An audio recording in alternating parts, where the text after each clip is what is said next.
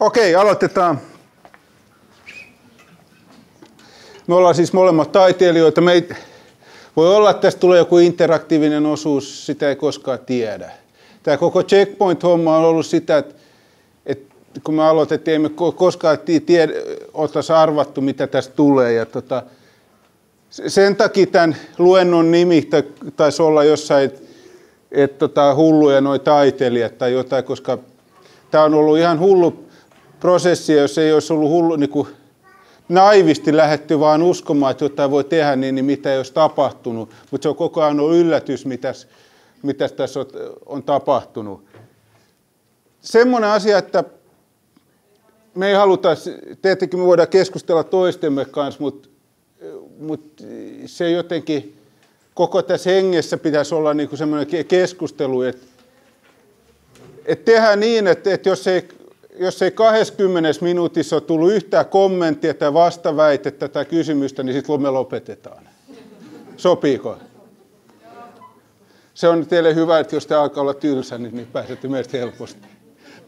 Tota, eli tämä koko, koko juttu lähti siitä, että yhtäkkiä meille Helsingissä lyötiin tämmöinen, että Guggenheim tulee, tulee tuonne oli tontti valmiina, paras paikka ja jotenkin. Ja, ja päättäjät kertoivat, että nyt satsataan kulttuuriin ja, ja sehän olisi pitänyt olla tosi positiivinen asia. Sitten kun se, sit, siitä ei hirveästi keskusteltu missään, se tuotiin hirveästi yl, ylhäältä päin.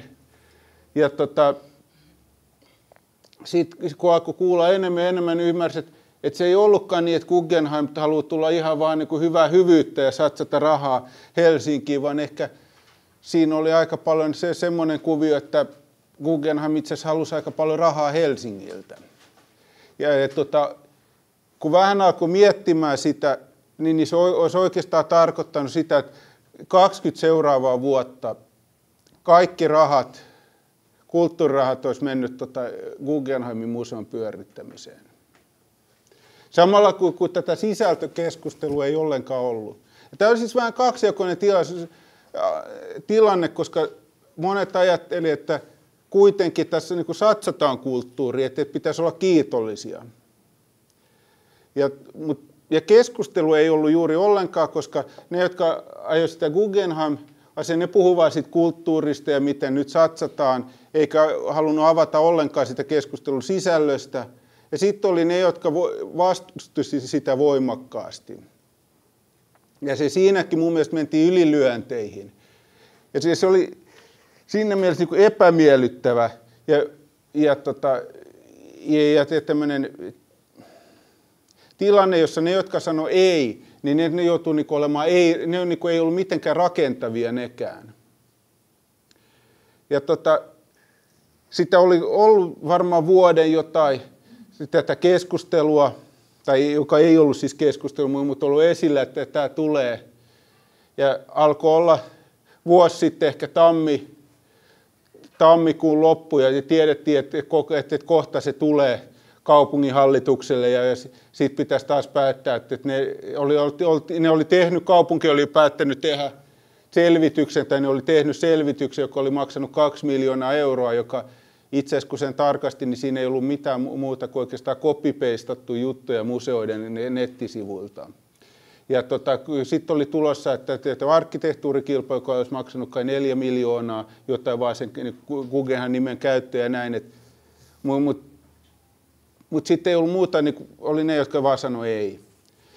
Jossain vaiheessa sitten yksi taiteilija tota, yksi päivä vaan alkoi miettimään, että hei, että, että, tätä, että ei se näinkään voi mennä, mutta ei halua mennä siihen vaan ei, vaan, vaan alkoi miettimään, että hei, miten jos me tehtäisiin niin jonkunlainen konstruktiivinen vaihtoehto ja mietitään, että esitettäisiin, tehdä yhdessä taiteilijoita, täm, taiteilijoiden kanssa tämmöinen ehdotus, että mitä me oikeasti näillä rahoilla voitaisiin tehdä Helsinki, joka olisi parempi. Ei tässä ei ollut minkäänlaista ideaa, että nyt että, että ehkä Guggenheim kaatuisi tähän tai että, että tästä oikeastaan voisi tulla mitään, mutta vaan se idea, että, että, tota, että esittää ainakin, että mitä voisi tehdä, mitä haluttaisiin tehdä. Että ei vaan sanota, että, että, että ei kannata satsata tähän, vaan, vaan mitä sillä voisi tehdä. Ja tota, kun, ne, kun sitten alkoi semmoinen pieni soittokierros tota, ympärillä, niin siinä tapahtui se, että, että hyvin moni sanoi, että, tota, että hei, että tätähän ei meillä ole just odoteltu. Että jotain tämmöistä tapahtuu. Ja hyvin nopeasti me tavattiin ensimmäistä kertaa noin 20 ihmistä ehkä vähän sattumavaraisesti kerätty, ehkä tavallaan meidän ikäpolven taiteilijoita, koska niissä se lähti meidän ikäpolven taiteilijoita. Niissä se oli semmoinen luonnon, että soitti kavereille ja näin, mutta samalla se oli aika sille joukko, että, että osittain se tapahtui Kuvataideakatemian ympärillä ihmisiä, jotka oli siellä mukana. Sitten tuli esimerkiksi amanuenssit sieltä Kuvataideakatemialta, joka osasi kirjoittaa enää, ja sitten tuli vanhoja niin kuin museoihmisiä. Ja, että siellä on aika niin kuin erilaisia ihmisiä. Istuttiin ja mietittiin, että hei, mitäs me oikeastaan halutaan tehdä. Ja, ja se oli tietysti täysin utopistinen tilanne, että, että tota, et, et, et, et, ja sitten me vähän sormi suun, että, että helppo sitä sanoa, että tehdään jotain uutta, mutta miten sitä uutta tekisi. Ja tota, tässä oli tavallaan vähän hassu tilannekin, koska aika moni taiteilija pelkäsi silloin, koska Janne Gallen Kallela Sireen, joka ajoi tätä eh, Guggenheim-hanketta hyvin voimakkaasti, istui tota, jakamassa apurahoja ja muut, niin aika moni pelkäsi sitä, että uskaltaako nyt tulla tämmöiseen mukaan, että meneekö kaikki apuraha tota, mahdollisuudet saman tien. Että tässä oli kaikkia tämmöisiäkin hauskoja juttuja että, eh, mukana, mutta mut hyvin moni lähti ja, ja aika innostuneesti. Ja kyllä se oli semmoista, niin kuin Venkslaamista mietittiin, että niin kuin edes takaisin, että mitä se voisi olla. Jos, jos teille nyt antaisi, että keksikää nyt niin kuin joku uusi museokonsepti, että miten saattaisi uutta taidetta, joka olisi kansainvälistä ja kierrättäisi kiinnostusta, niin aika helposti käyttää niin pari niin kuin lausetta ja se kuulostaa hyvältä, mutta sitten kun pitäisi oikeasti miettiä, että mitä se on, niin, niin ei se niin helppoakaan ole. Mutta mut siitä se lähti, tota, ja, ja tultiin siis siihen ajatukseen, tämmöinen tuotantoorganisaatio, joka se, se perusajatus oli tämmöinen tuotantoorganisaatio, joka tota, tuottaisi nousevia taiteilijoita, siis semmoisia, jotka ei ole vielä niin kuin, tunnettu ympäri maailmaa, joita voisi saada silleen niin kuin halvalla, että se olisi hyvä diili niille taiteilijoillekin, että, että niille maksettaisiin palkkaa ja materiaalit ja näin ne saisi tehdä duunin niin kuin vapaasti. Todettiin, että, että se ei ole niin ollenkaan huono diili niin kuin nousevalle taiteilijalle, että sillä saisi oikeastaan kiinnostavia tyyppejä tekemään. Sillä ei saa niitä isoja staroja, jotka teki, joka reissaa ympäri maailmaa, jotka jo tekee, sitä, tekee sitä, mitä näkee joka puolella. Mutta se, se ei ollut sitä, mitä me haluttiin, koska, koska mä, Guggenheim olisi ollut sitä oikeastaan, mutta me tunnettiin, että, että se ei olisi ollut tuonut niin kuin Helsingin taidemaailmaa oikeastaan mitään uutta. Ja että tällä, tämä oli niin kuin se perusajatus. Tässä Sähän, sä tulit pari, niin me oltiin niin. jo kokoistettu pari kertaa, Joo. kun sä tulit mukaan. Joo, mä en päässyt niihin ensimmäisiin tapaamisiin ja, ja ei mullakaan tullut mieleen, kun mä sain tämän, tämän e-mailin, että, että tutko mukaan ideoimaan tämmöistä tota, vaihtoehtoa Guggenheimille, niin ei mullakaan nyt tullut semmoinen olo, että, että jee, että, että, että nyt varmasti tapahtuu, tapahtuu tässä jotain tämmöistä, se tuntuu, tuntuu aika utopistiselta, mutta enemmän mä innostuin vaan siitä, että, että ihmiset halusi miettiä vaihtoehtoja ja että, että kenttä kokoontui. Että mua enemmän niin kuin innosti se tavallaan ele, ele ja teko sinänsä ja se, ettei suostuta siihen, että ei ole vaihtoehtoja. Mutta kun mä menin siihen, mä menin ehkä kolmanteen tapaukseen, niin mä muistan, että mä olin aika vaikuttunut siihen, että siellä, siellä oli todella, niin kuin, äh, to, todella niin kuin, hyviä tekijöitä kuvataidealueen eri, eri nurkista – jotka oli todella laittanut aikaa ja omaa tietotaitoa siihen, että ne on niin kuin yhdessä miettinyt. Jo siinä vaiheessa oli aika, aika pitkällä semmoinen niin kuin hy, hyvin mietitty konsepti. Ja se oli hirveän inspiroivaa just se ajatus, että, että meillä on ihan mielettömästi tietotaitoa omassa itsessämme, jos se vaan jotenkin valjastetaan oikein, jos meillä on niin kuin, niin kuin mahdollisuus käyttää sitä rakentavasti. Ja se oli just ehkä suuri ero siihen Guggenheim-ajatukseen, että, että jos Guggenheimissa oli koko ajan sellainen ajatus, että Helsingissä tulee kulttuurikaupunki sillä, että me niin kuin tuodaan Amerikasta tämmöinen niin kuin tuote, jolla on tietty maine, niin sit se on se, joka tekee tästä kulttuurikaupungin. Niin toi, toi oli tavallaan ihan käänteinen toi Checkpoint Helsinki-ajatus, että meillä on jo, meillä on ihan mielettömän hyviä, lahjakkaita, osaavia, kokeneita tekijöitä, jos, jos he, heille tavallaan annetaan mahdollisuus ideoida. Ja, ää, mut tässä vaiheessa tämä tosiaan oli alkanut näin, kun Markus kertoi, että siinä oli parikymmentä ihmistä mukana – aika varmasti tälle vaistonvaraisesti soiteltu vaan eri ihmisille, että siinä ei ollut semmoista todella, todella niin kuin selkeää logiikkaa, että ketkä siinä oli mukana, koska se oli semmoinen nopean reagoinnin tilanne, että nyt pitää saada vain hyvä porukka kasaan. Mutta sitten sit tässä vaiheessa tultiin jo tilanteeseen, että, että okei, tämä on itse asiassa aika herkkä asia, me ollaan nyt ehdottamassa uutta taideorganisaatiota kaupunkiin, joka nyt kärsii jo suurista leikkauksista ja, ja siis monet kulttuurimuseot niin siellä on jo todella niin kuin huon, huonossa tilanteessa rahallisesti.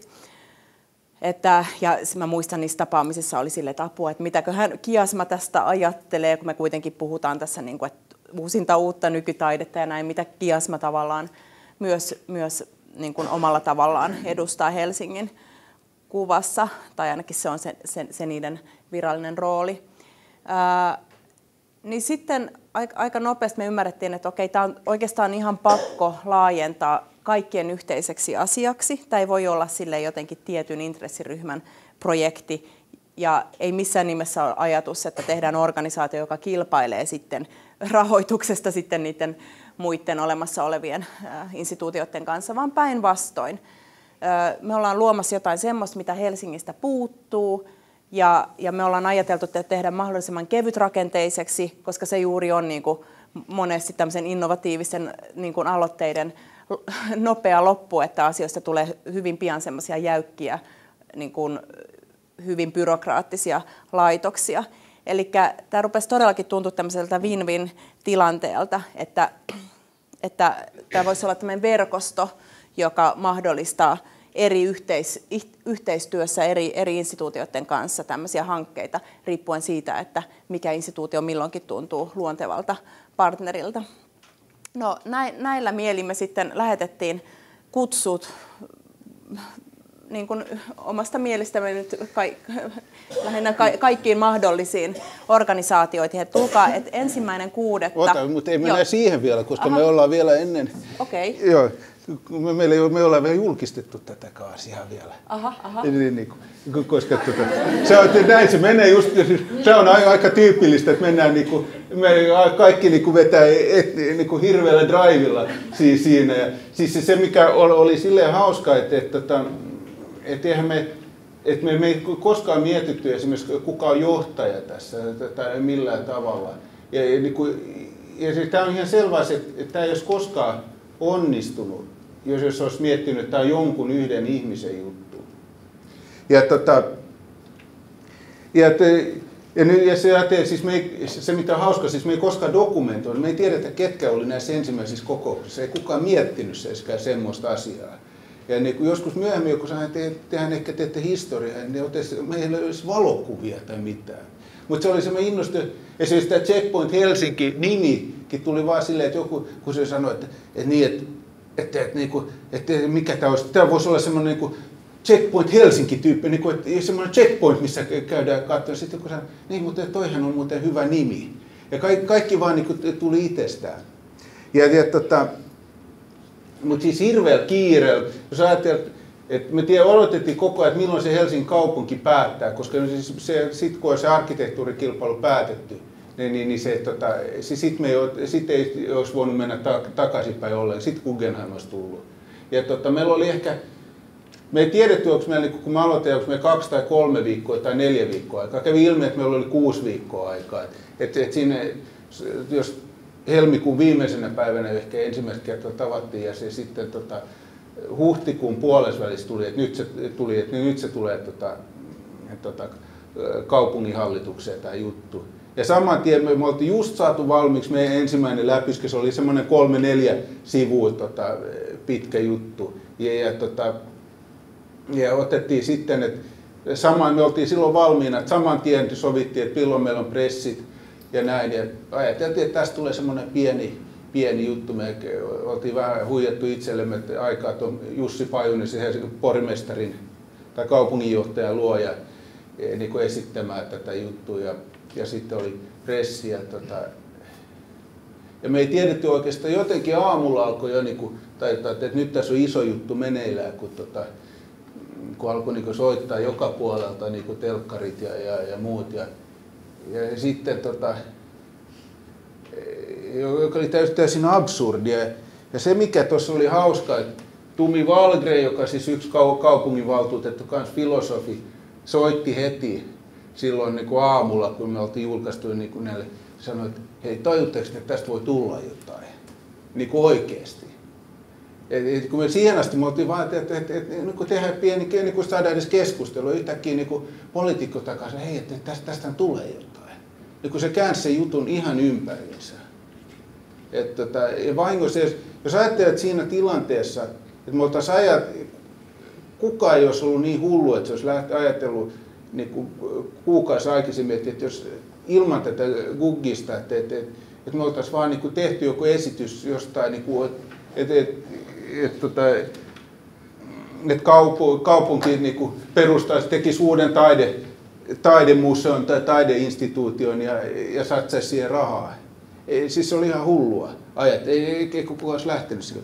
Mutta siis me lähdettiin ja siis sitten tota, me julkistiin ja siinä se oli hauska, kun sitten oli tämä pressi, niin huomattiin, radiolla oli itse asiassa kaksi autoa niin ulkona. Ne olisi ihan hyvin pärjännyt yhdellä, mutta ne ei ollut vaan niin ehtinyt siinä niin kuin koordinoida, niin silloin oli radioautoja niin kuin parkkeerattu peräkkäin siellä ulkopuolella ja näin. Ja sitten tuli iso juttu ja yhtäkkiä niin kuin kaikki poliitikot otti meidät vakavasti ja kuunteli. Me oltiin yhtäkkiä keskellä jotain debattia, semmoista mitä ei ollut aikaisemmin ollut. Ja poliitikothan oli niin kuin todella innoissaan, koska, koska ne, niille ei ollut ollut mitään argumentteja. Ne poliitikot tien, jotkut ties niin kuin, miten taidemaailma toimii, mutta suurin osa ei. Ja, tota,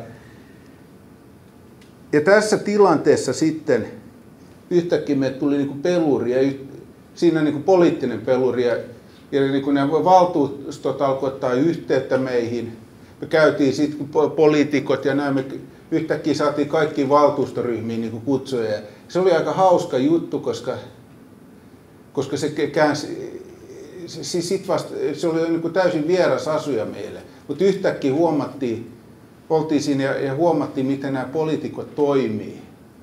Ja se semmoisia yllätyksiä, että, että me meillä oli samana päivänä perussuomalaisten ja, ja tota, vihreiden ryhmän kanssa tapaaminen. Me mennään siinä niin kuin perussuomalaiset oli silloin vielä pieni ryhmä ja pieni huone ja se silleen, että, että siellä oli Jussa, Jussi halla ja muut vasta tiedettiin, että, tiedettiin, että, nyt, että, että, mitä minä, joka puhun vähän huonoa suomea ja näin, että miten näin. Sitten no vihreät, ne on varmaan helppo. Sitten yhtäkkiä kävi niin, että, että vihreissä, kun se liitettiin rautalangasta, nämä jutut, että, että miten me saataisiin tämä niin kulttuuri nousemaan ja näin. Ja sitten kun oltiin pidetty, niin sitten se alkoi jotkut, niin jotkut taas, mutta kyllä se tota, iso kansainvälinen brändi ja, ja niin tämä suuri yleisö. Sitten taas selit, selitti, että, tota, että, että niin, mutta jos suurelle yleisölle oikeasti tarjoaa jotain uutta ja niin kuin uudella tavalla, niin, niin oikeasti voi tehdä semmoista taidetyötä, että sitten tulee jotain iso juttu. Sitten taas tuli se, mutta tämä suuri yleisö ja näin. Sitten sen jälkeen mentiin tota, perussuomalaista ja se, niiden puheenjohtaja se, se tota, sanoi, kun me oltiin selitetty, että ulkomaalaisia taiteilijoita syötetään, juotetaan, maksetaan ja näin. Se puheenjohtaja, joo, kun tähän menisi oikeasti, niin kun, katsoo koko summa, tähän menisi näin vähän ja kaikki muu menee näin paljon, niin kyllähän tähän pitää satsata. Et, no, nämä on semmoista anekdootteja, mutta, mutta yhtäkkiä oltiin keskellä tätä keskustelua se, se oli ihme. Nyt mä annan sulle, nyt me mennään siihen, siihen miten tästä eteenpäin. kertoa tota noin, niin, äh, enemmän sit Pajusen tapaamisesta? Ei, no siis sehän nyt oli semmoinen mediatapahtuma. Me oltiin, koska me tajuttiin, että meidän, jos, jos meillä on tämmöinen paperi, niin sitten pitää tehdä tavallaan mediatapahtuma siitä, siitä, että me jätetään kaupungille meidän piti jättää kaupungille jotain, ja totta kai se on komein niin kun käydään kaupungin johtajalle jättää sitä. Ja saatiin siis telkkarit siis sinnekin ja pidettiin puhe siitä, että miten tärkeää se on saada niin kuin uusi instituutio, joka olisi kansainvälinen ja iso, mutta että, että se tapahtuisi näin ja näin. Ja, tota... Joo, nyt mä tosiaan niin, äh, tosiaan kiiruhdin tuossa jo, jo, jo vähän tonne siihen, siihen tapaamiseen, joka järjestettiin Kiasmassa, joka oli siis avoin kaikille taideorganisaatioille siellä tota, seudulla. Niin kutsuttiin heidät miettimään yhdessä meidän kanssa, että mitä tämä voisi käytännössä tarkoittaa. Koska eihän me voida niin kuin, tavallaan kaikkien puolesta sanoa, että joo, että sitten tämä perustuu verkostoihin ja, ja, ja tämmöistä, että win-win, jos, jos ei me tavallaan edes, edes niin kuin, ö, kutsuta muita miettimään sitä yhdessä. Ja sitten se on tietenkin aina iso kysymys sitten, että no, miten tämmöisen sadan ihmisen kokoontumisen nyt sitten vetää sillä lailla, että kaikilla tulee semmoinen olo, että, että ne on jotenkin oikeasti siinä osallisena. Ja sitten siihen vastaukseksi tuli tämmöinen, se on ihan tämmöinen fasilitointitekniikka kuin Open Space, jota mä oon jonkun verran opiskellut ja vetänyt aikaisemminkin, niin se tuntuu sopivan tähän hirveän hyvin. Markus näyttää jotain kuvia sieltä, jos sä löydät. Se on otettu, näet sä tuossa alhaalla toi Prasmo, siinä ihan alapalkissa. Joo. Mitäs ne sais sieltä? Joo, ja sitten varmaan jotenkin eteenpäin.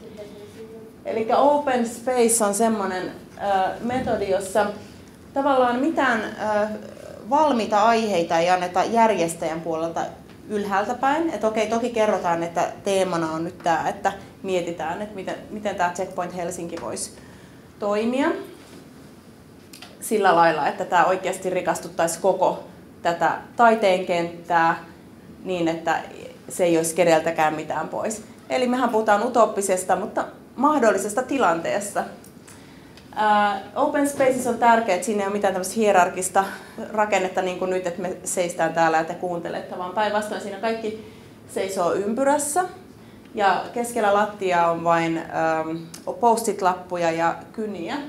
Ja sitten kuka vaan, jolla on tavallaan joku teema, mistä ne haluaa puhua, tai joku asia, joka heitä henkilökohtaisesti askarruttaa, niin menee siihen tota, lattialle ja kirjoittaa sen teemansa lappuun, sanoo oman nimensä muille ja lukee, mikä se hänen teemansa on. Jonka jälkeen hän vie sen seinälle tuolla takana näkyy joku tämmöinen seinä, joka on itse asiassa aikataulu, jossa kerrotaan, että mihin kellon aikaan esimerkiksi tunnin päästä ja pöytä A, eli siellä oli sitten pöytiä jaoteltu ympäri kiasmaa, niin sitten tavallaan kaikki tiesi sitten, että ne, joita kiinnostaa tämä aihe, niin on tuo, sitäkin käsitellään tuohon ja tuohon aikaa tuolla. Eli tuossa noin, olisiko, olisiko siellä ollut yhteensä noin 30 ihmistä, jotka kävi antamassa sinne aiheen sinne keskelle ja kävi laittaa sen sinne ää, ää, aikataulun tuossa siitä, Vino kuva siitä aikataulusta. Ja tässä on tietenkin ideana se, että mikä yleensä on ongelma semmoisten niin seminaarien, jossa jotenkin on jotkut esipuhujat ja yleisö mukamassa saa keskustella siinä mukana, niin tota, niiden ongelmahan on usein se, että vaikka olisi yhteinen teema, joku asia, mikä kiinnostaa yleisellä tasolla kaikkia, niin yleensä jokaisella he, yksilöllä on sitten kuitenkin oma semmoinen aika, aika, aika ehkä hyvinkin määritelty aihe, joka heitä niin kuin tavallaan sen ison aiheen sisällä kiinnostaa. Ja sen takia seminaareissa usein ongelma on se, että ihmiset tuntee loppujen lopuksi, niin kuin, että ne on vähän väärässä paikassa väärää aikaa, tai silleen, että okei, ehkä niin kuin 10 prosenttia siitä, siitä tota, tilaisuudesta meni, oli jotenkin relevanttia heille ja muu, muu aika meni jotenkin odotteluun tai semmoiseen yleiseen, mikä ei niitä henkilökohtaisesti kiinnostanut. Niin Open Spacein vahvuus on se, että siellä tavalla ne ihmiset, joita kiinnostaa samat aiheet, löytää toisensa. Ja sitten siellä niin kuin tämän alkusession jälkeen niin ihmiset on eri työryhmät samaan aikaan istuu eri pöydissä puhumassa siitä aiheesta, mikä heitä kiinnostaa. Ja yksi tekee muistiinpanoja, niin kuin raportti, joka sitten, josta samalla tulee se sen memo ja kirjallinen tämmöinen protokolla siitä tapaamisesta, joka sitten myöhemmin jaetaan muillekin. Eli tällä systeemillä meillä kului siellä koko päivä. Meillä oli siellä ehkä, no oli ehkä parin tunnin sessioita per pöytä ja sitten tähän kuuluu tämmöinenkin, että ihmiset saa aina valittaa, va, vaihtaa pöydän. Eli heti jos tuntuu Open Space-metodin tämmöinen tärkein sääntö on, että jos sä et siinä sun omassa sessiossaan, jos, jos sä et opi mitään, etkä sä myöskään anna mitään, niin sitten on aika lähteä. Sitä kutsutaan kahden jalan säännöksi, että sitten ottaa jalan toisensa eteen ja vaihtaa paikkaa. Ja tosiaan tämä oli hirveän tärkeä ja aika ainutlaatuinen tapahtuma Helsingin taideelämässä ja tässä oli todella paljon kirjallista materiaalia sitten näiden keskustelujen pohjalta jäänyt käteen. Ja totta kai eri pöydissä on myös hyvin ristiriitaisia niin kuin ajatuksia, että ei, voi olettaa, että sitten tästä syntyy se yksi täysin looginen, kirkas tuote, että tätä Checkpoint Helsinki on. Mutta jälleen kerran, niin kuin koko ajan ollaan tehty tässä prosessissa, että ne, ne, jotka on valmiita tekemään töitä ja ottaa vastuuta, niin niillä on myös valta viedä tätä eteenpäin. Eli tämän tapahtuman jälkeen kaikki, jotka sinne oli tullut, sai valita kuuluuko he ykkösryhmään, kakkosryhmään vai kolmosryhmään, laittoi nimen listaan. Jos, jos olit kirjautunut ykkösryhmään, niin, niin sait kutsun kaikkiin tämmöisiin niin kuin, ö, tapaamisiin, mitä oli aika paljon, jossa niin kuin, sitten lähdettiin käymään läpi myös tätä materiaalia ja tekemään tota, semmoista editointia ja miettimään sitä fokusta ja näin päin pois. Jos kuulut kakkosryhmään, niin se on tämmöinen, että okei, saat edelleen aika paljon tietoa ja updatea, mutta, mutta saat kutsun vaan semmoisiin niin kuin vähän harvemmin järjestettäviin yleisempiin kokouksiin, mutta, mutta ei näihin, näihin aktiivikokouksiin. Ja sitten kolmas ryhmä oli semmoinen niin kuin hyvin passiivinen, että, että okei, että ehkä että et jollain lailla pidetään listoilla, kun on jotain tämmöistä hyvin yleistä kerrottavaa, mutta, mutta että se oli se passiivisin vaihtoehto, mutta että halusi kuitenkin pysyä jotenkin kartalla, että mitä tässä tapahtuu. No. Se mikä tässä oli meille ehkä se kaikkein hienon, että yksi asia, että näyttää just kentälle, että kaikki on avointa, että kaikki on niin tervetulleita mukaan. Mutta tässä oli myös se, että ennen sitä meitä oli kuitenkin ollut ehkä 20-30 ihmistä. Ja sitten kyllä siihen niin kuin nimilistalle, siis sitten kun me kerättiin nimiä tänä, niin kuin tänne ehdotuksen taakse, niin siihen tuli nopeasti pari 300 nimeä. Mutta tämä oli yhtäkkiä, meillä oli vähän yllättäen toista sataa ihmistä täällä, joka kaikki oli niin kuin innoissaan. Et jos te alatte tekemään jotain juttuja ja näin niin pienessä piirissä, sitten yhtäkkiä huomaatte, että hei, meidän yhtäkkiä tulee toista sataa ihmistä, jotka on innoissaan niin, niin, niin, niin se, se, sitten on, niin kuin, se siirtää sen ihan uudelle tasolle. Plusset, mikä oli yllättävää, oli miten paljon, siis tämä järjestettiin Kiasman kanssa yhteistyössä, tai me saatiin tilat sieltä, mutta yhtäkkiä tajuttiin, että tuolla on niin koko Helsingin niin kuin kaikki, kaikki instituutiot, kaikki oli paikalla. Et tonkin pöydän ympäri saatte ehkä näkee, siellä on niinku yksi keskeinen galleristi, yksi museojohtaja, yksi entinen museojohtaja, kaikki, mutta kaikki instituutiot, niin se, se vaan niin sattuu yksi, yksi pöytä, plus niin taiteilijoita näin. Ja huomattiin, että, että tämä ei ollut vain niin taiteen juttu, vaan, vaan tämä on semmoista, mitä että Helsingistä esimerkiksi oli puuttunut että kaikki niin teki omassa talossa, mutta ei ollut minkäänlaista. Tämä oli ensimmäistä kertaa hyvin moneen vuoteen, kun kaikki nämä oli yhdessä ja mietti asioita. Ja sitä me ei oltu niin kuin edes tajuttua aikaisemmin. Mm. Mutta silleen se sopii just Checkpoint Helsingin henkeen tavallaan se ajatus, että, että meillä on niin kuin oikeasti fiksellä, että me ollaan yhdessä voimakkaita, että jos me halutaan, että meillä on tämmöinen kaupunki, jossa kulttuurilla on tärkeä asema ja asioita tapahtuu, niin me tarvitaan paljon tämmöistä hyvää synergiaa ja yhteistyötä, että mikään yksi instanssi ainoastaan ei tavallaan riitä semmoisen semmoisen tavallaan ää, myöskään maineen kasvattamiseen, että, että tota, Helsinki on se paikka, jossa tapahtuu.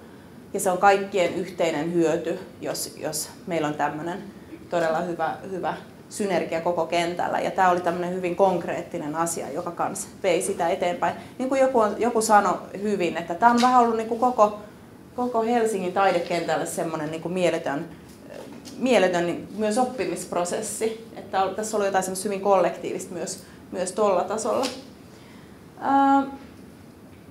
Sitten onko siitä selvityksen? Sitten tosiaan niin kun, sit jossain vaiheessa huomattiin, että siinä on niin paljon työtä siinä, että me prosessoidaan kaikkea tätä Kiasman ensimmäinen kuudetta tapaamisessa syntyneestä materiaalista, että, että me oikeastaan tarvitaan hyvin, hyvin niin kuin sitoutunut työryhmä, joka ihan vaan miettii sitä, että toki teimme sen niin kuin alkukeskustelut kokonaan tässä ykkösryhmässä, mutta sitten lopulta valikoitu tämmöinen, tota, tai me pyydettiin joitain mielestämme sopivia ihmisiä sitten kirjoittamaan itse, itse selvitystä.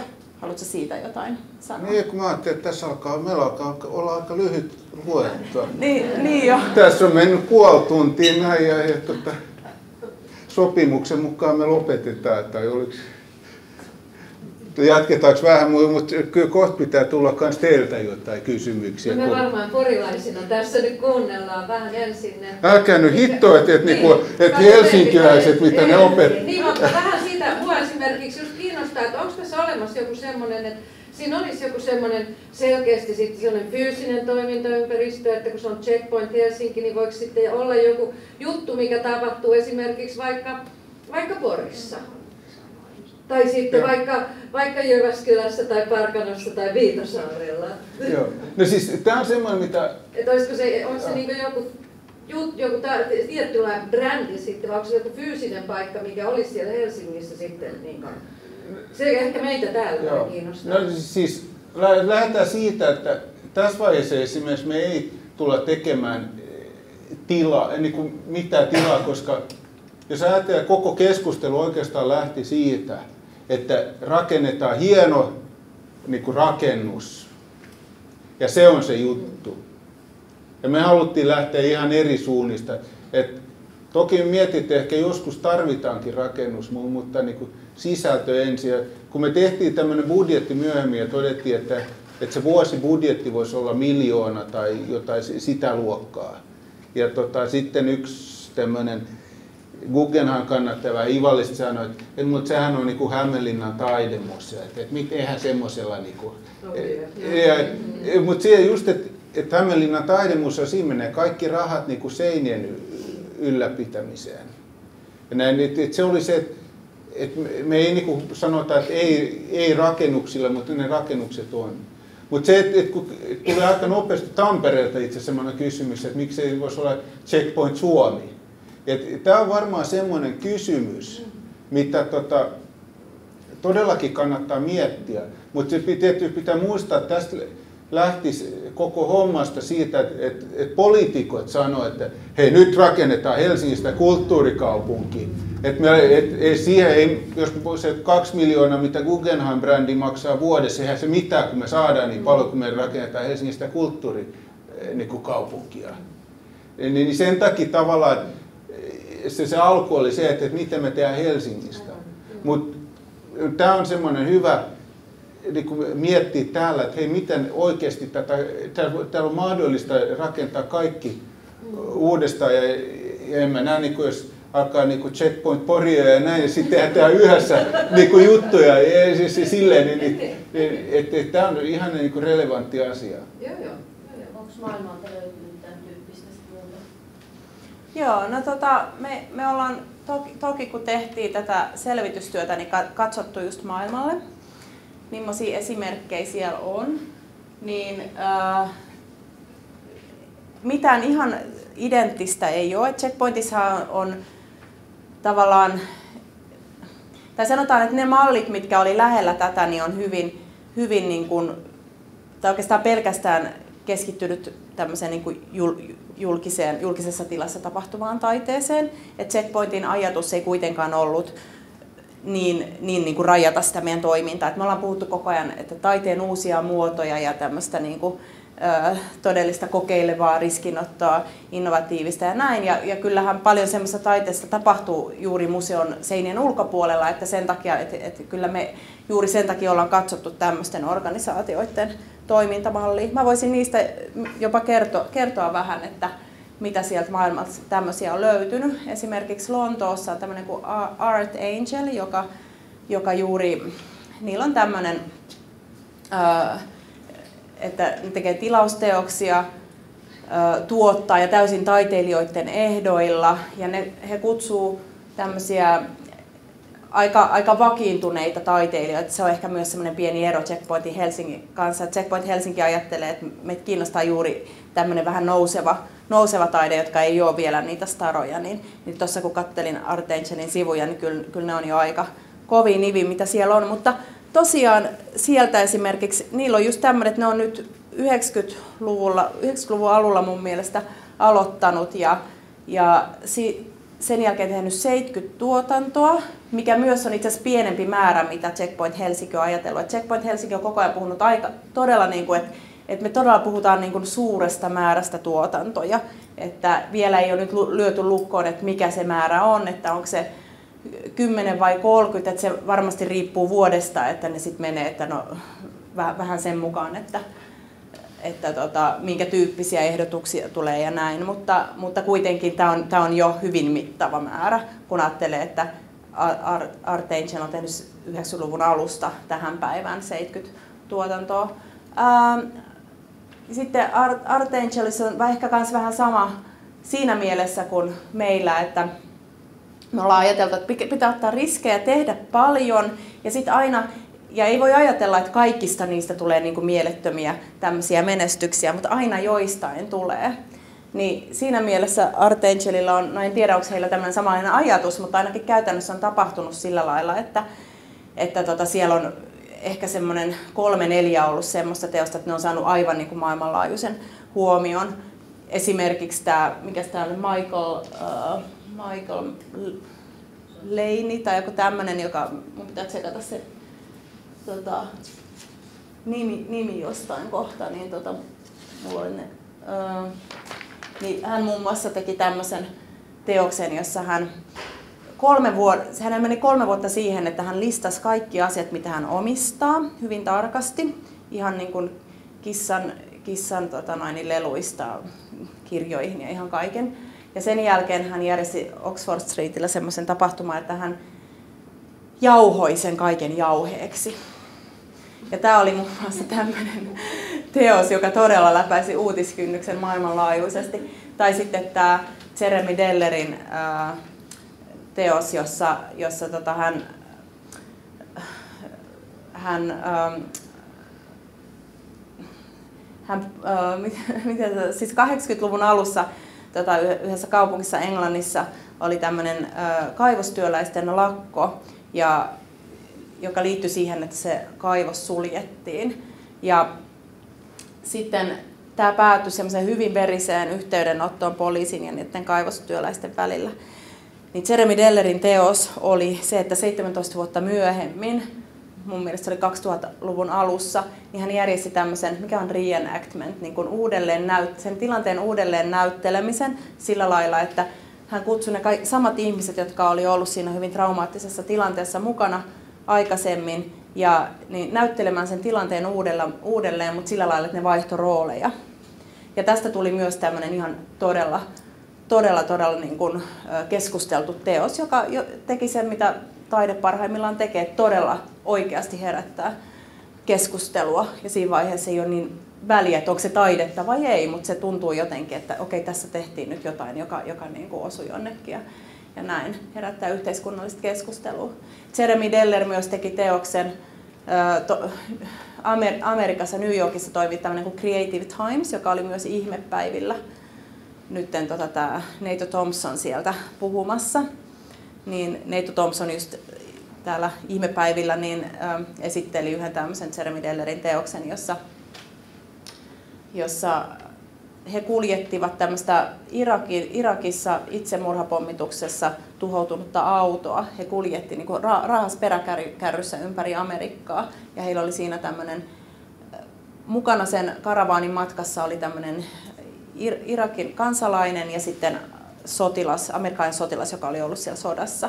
Ja ihan vaan sillä, että ne käveli ja keskust, niin kuin meni eri kaupunkiin ja kutsui ihmisiä keskustelemaan heidän kanssaan ja sitten niitä do- dokumentoitiin niitä keskusteluja. Ja Neito Thompson just puhui tästä niin kuin, siitä, siitä, mitä taide voi muun muassa luoda tämmöisiä niin kuin tilo, non-judgmental space, hän sanoi, eli tämmöisiä ähm, niin kuin ti, tiloja ja tilanteita, joista puuttuu semmoinen tuomitseva katse, että jos ihmiset voi oikeasti niin kuin kohdata ja keskustella. Että jälleen kerran hyvä, hyvä esimerkki, mitä taide voi tehdä.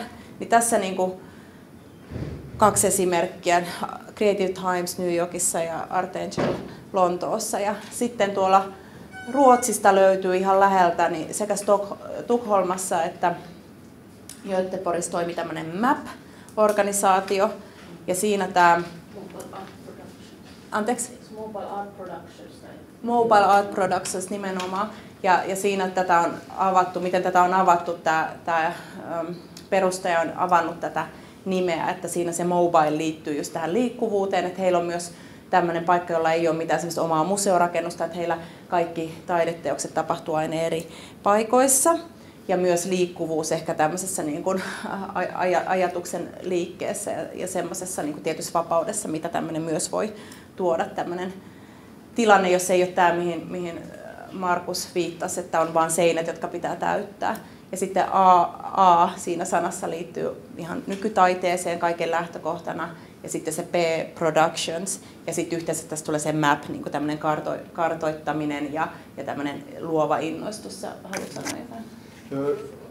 Että, tota, se mitä tässä on siis hauskaa on se, että, että kaikki nämä tietysti mitä esimerkit, mitä nyt on esillä, liittyy tämmöiseen niin kuin site-specific artiin ja tämmöiseen osallistuvaan niin kuin taiteeseen. Ja se on tietysti se asia, joka on, on nyt että, että se in-juttu. Mutta samalla, ja niin kuin me, meidän varmaan ensimmäiset jutut tulee myös liittymään aika paljon tämän tyyppiseen taiteeseen. Mutta samalla tämä on se tota, iso ongelma tai oikeastaan pähkinä, mikä meillä on kiinnostava, että et, et jos, jos se jää vaan tähän, niin sitten me, me tehdään se, mitä, mitä, odot, mitä kaikilla muualla, muuallakin tehdään. Ja se, se jos sä teet, että Creative Times ja Art Angel, ne on jo niin käyttänyt samoja, samoja taiteilijoita. Jos menee sitten näin uutta ja innovatiivista, niin mä olen ihan varma, että jokainen taidemuseo, kaikki etsii sitä uutta ja innovatiivista. Et se ei vielä niin riitä, vaan, vaan kysymys on oikeastaan se, että, että ei saisi jäädä paikalleen. Ja tietysti tämmöinen, että ei ole nyt omia tiloja, mutta meillä on mahdollisuus käyttää, meillä on kaikki taidemuseot Helsingissä on kiinnostunut tekemään yhteistyötä, gallerioita ja muita, niin, niin tota, meillä on niin tiloja, jos me tarvitaan tiloja, niin, niin, niin kyllä me saadaan semmoisia. Niin, niin meillä on siis silleen vapaus. Ja sitten meillä on se, että niin, mitä tietysti kaikki kanssa yrittää käyttää, että, että se, että, että käyttää näitä verkostoja, yrittää löytää, löytää uusia ihmisiä, joka löytää uusia ihmisiä. Ja se on ehkä se tapa, mitä me ollaan ajateltu, että me pystymme uudistautumaan. Että me sitten luodaan tämmöinen tavallaan kuraattorisysteemi. Kuraattori voi myös olla taiteilija näin, mutta olisi ehkä kolme kuraattoria, jotka tota, saa siis omalla vuorollaan kansainvälisiä, jos on joku Singapore, joku mistä vaan, ja se saa omalla vuorollaan tehdä just se, mitä ne haluaa tehdä. Siis ei etitä semmoisia niin joka paikan höyliä, joka on joka paikassa ja kiinnostumaan kaikesta, vaan, vaan joka on erikoistunut johonkin, annetaan sille mahdollisuus tehdä, mitä se voi tehdä. Haluta. Ja sitten etsitään joku toinen kuraattori, joka edustaa jotain ihan muuta, joka tulee siis sitten tekemään jotain. Ja sitä kautta eri, yrittää etsiä jotain uutta.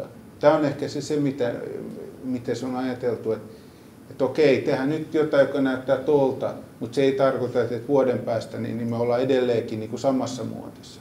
Joo, eli tässä on vähän ajat... ajat joo. Jos tässä tapaamisessa teillä on tämä open niin oliko tässä yli taiteen rajojen, että oliko se vain kuvataide? Sytyksi myös semmoista poikittaiteellista? Joo.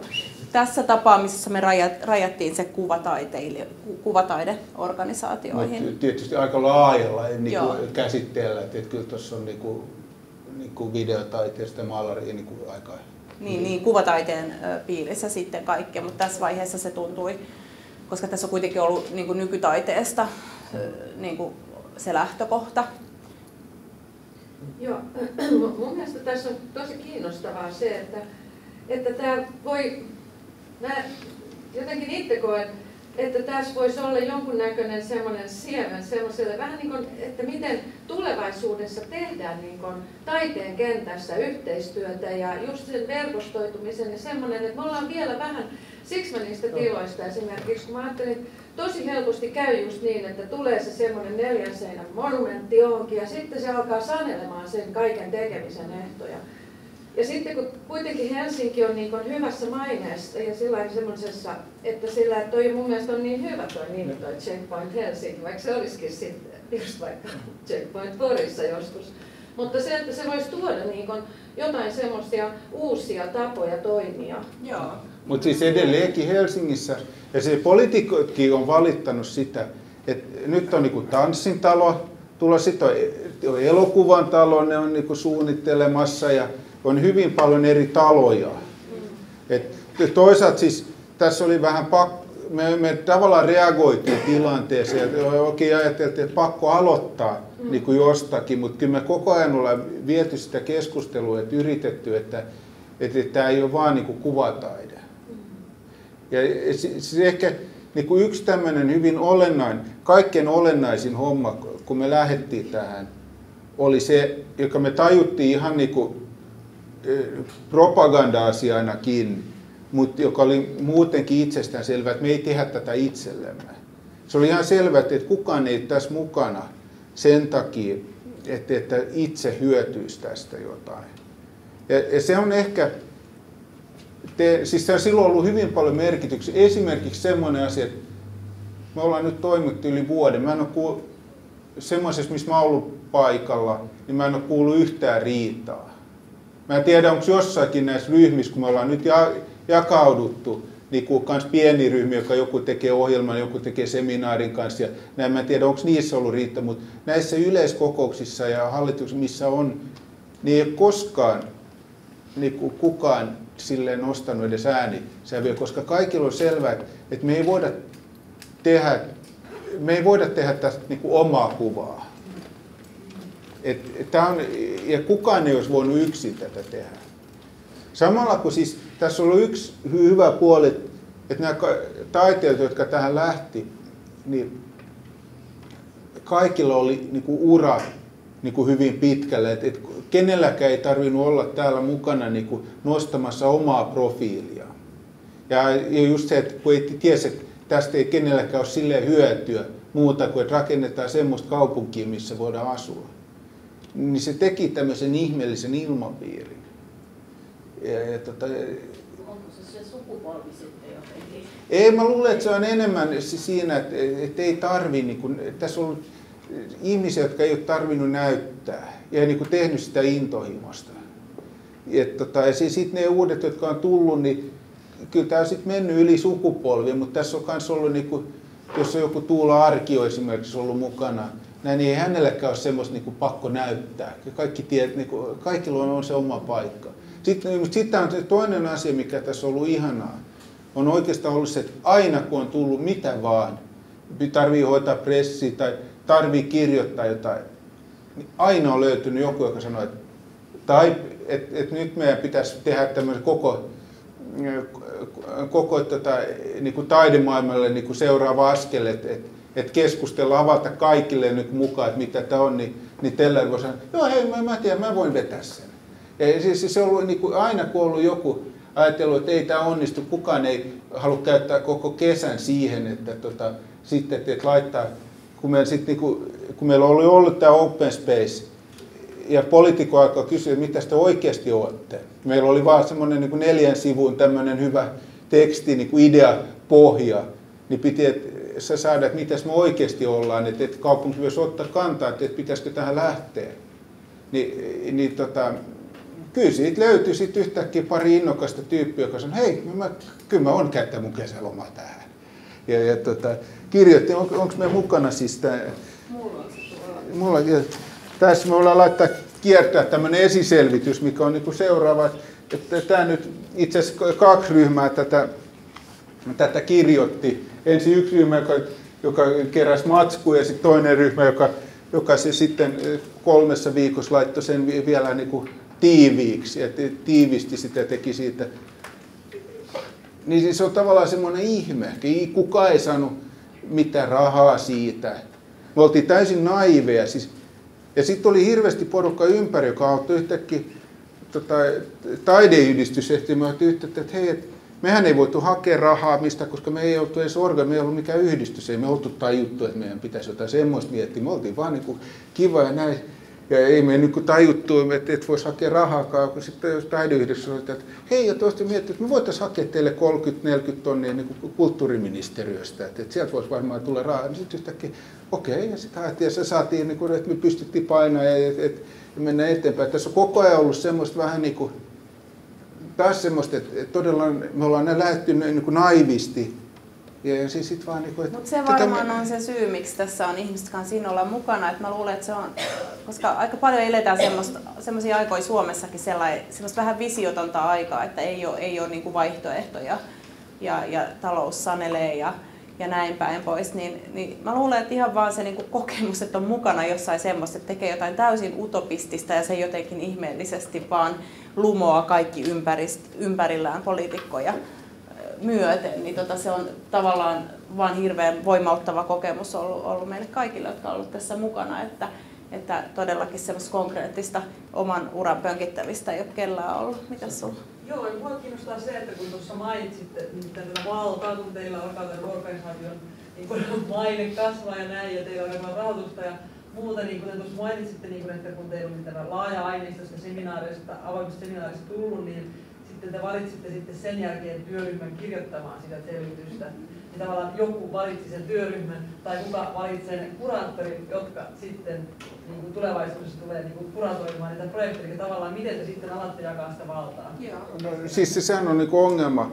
Ja me, me jouduttiin siis tuossa tuossa tota, joulukuussa perustettiin sitten Checkpointin tukiyhdistys, koska totta kai siis pitää olla e, joku juridinen henkilö, itse asiassa ensimmäiset apurahahakemukset, mulle taisi tulla ensimmäiset 50 tonnia mun tilille periaatteessa. niin kuin, no joo, se, ne ei koskaan tullut, me, me ehdittiin siis perustaa tämä yhdistys ennen, ennen kuin niitä piti maksaa. Mutta oli pakko tehdä yhdistys, ettei saada nämä pyörimään. Mutta edelleenkin yhdistyksen säännös on semmoinen, tietysti yhdistyksen pitää olla hallitus, koska joita, jotkut pitää laittaa vankilaan sit jos tyritään. Eli muun muassa me joudutaan vankilaan siis sitten.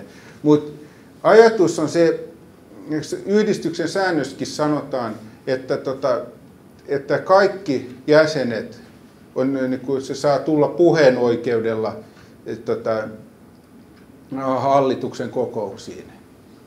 Eli, eli tavallaan edelleenkin kaikki työryhmät on auki, kuka vaan saa tulla, tulla mukaan. Se, että ne ovat puheenoikeudessa, se on taas tietysti juridinen asia. Me ei olla äänestetty kertaakaan. Joitakin asioita, kun ei esimerkiksi henkilökunnan niin palkkaamista joudutaan siis suljetussa, koska ei, ei voi niin julkisesti käsitellä asioita, jo niin kuin jonkun henkilön salaisia, niin kuin henkilökohtaisia tietoja. Mutta mut edelleenkin siis ajatus se, että me ei suljeta tätä kenellekään, eikä sitä sitä niin kuin päätöksentekoa. Ei, onko se toki yhdistys se, joka sitten niin kuin, joka valitaan ne mitä tätä suunnitelmissa niin, Jos kyllä se niin kuin tulee, niin kuin, no se antaa tuki, meillä on niin kuin hallituksen kokoukset, on samalla niin kuin checkpointti, se, on, se, se tuki, että se on samalla kokouksella, on taas ihan tämmöinen asia, että, että, että ne on niin kuin checkpointin yleiskokouksia. Mutta ne on samalla tämän tukiyhdistyksen hallituksen kokouksia, koska silloin me voidaan tehdä ne päätökset. Me ei tarvitse niinku tehdä sit uudet kokoukset, jotka niinku vaan eh, lyö lukkoon ne päätökset, mitä on tehty. Tämä on ja niin kuka kuin... vaan voi tulla niihin kokouksiin. Ja sitten kysymys siitä, että kuka valitsi sen kirjoitusryhmän, niin se oli juuri se ykkösryhmä, johon kuka vaan sai ilmoittautua että tota, just se idea, että okei, ne, jotka jaksaa tulla kokouksiin ja ottaa vastuuta siitä, niin, niin niillä toki sitten on myös valtaa, koska päätöksiä täytyy tehdä. Ja tämä on myös sellainen prosessi, että välillä pitää tosi nopeastikin tehdä päätöksiä, että tämä menee eteenpäin. Ja tota, että ehkä just se, että, että sitähän ei voi välttää, että aina on jonkunnäköisiä päätöksen teko, tekomekanismeja ja, ja prosesseja, mutta ehkä just se, se on niinku tärkeää, että tämä on niinku läpinäkyvää tämä toiminta, että se on niin kuin mysteeristä ja sitten se, että on avointa, että ne, joilla on, joilla on niin kuin mahdollisuuksia tulla mukaan, niin on mahdollista vaikuttaa.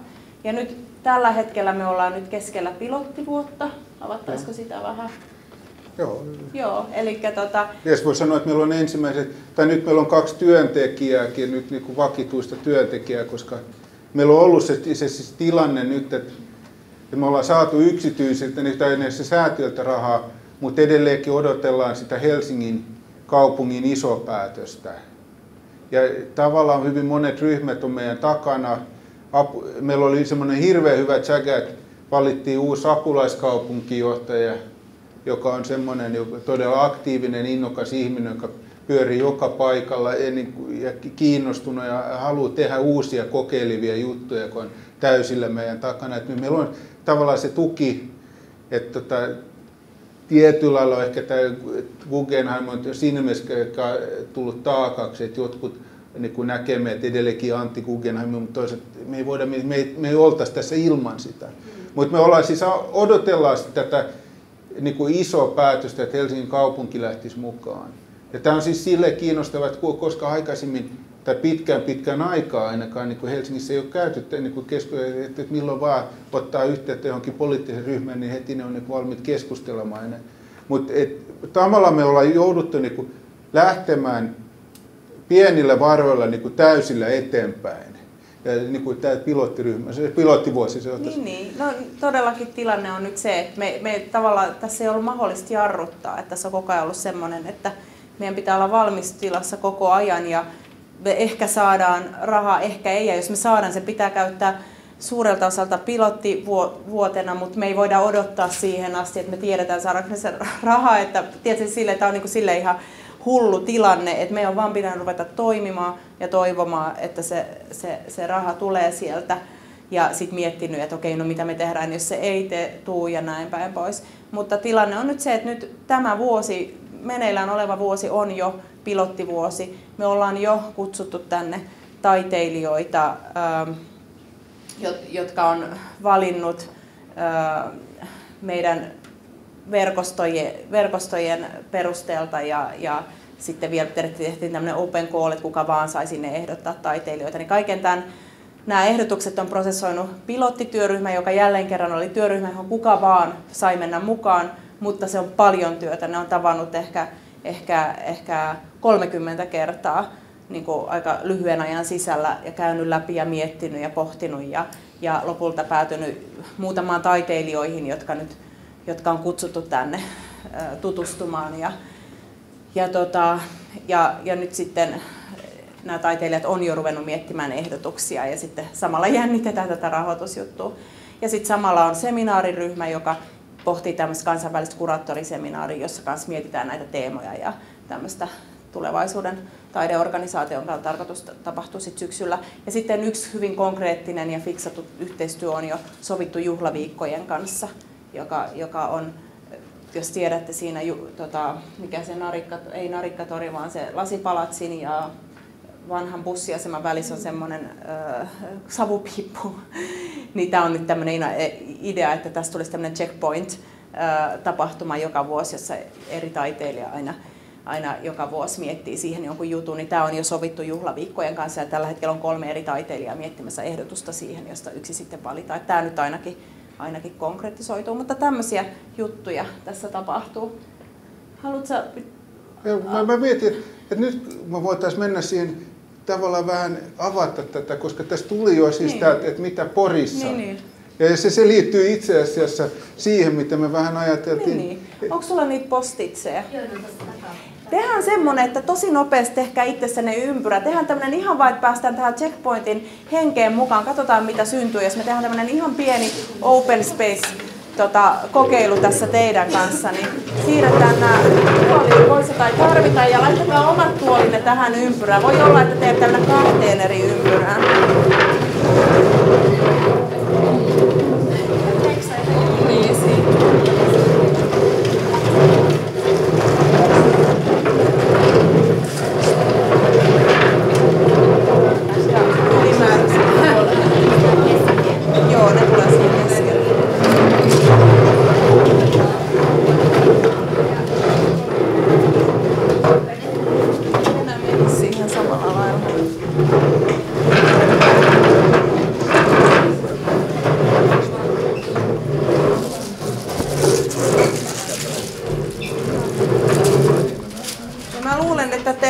Arvaattekin, että mitä tästä seuraa.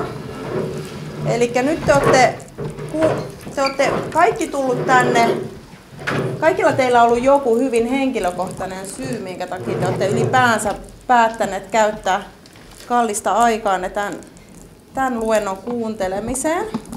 Ja ehkä jotkut niistä teidän kysymyksistä on vastattu tai jotkut ei, tai sitten voitte olla tosi turhautuneita, että me ei voi saa avata. Kaikki saavat.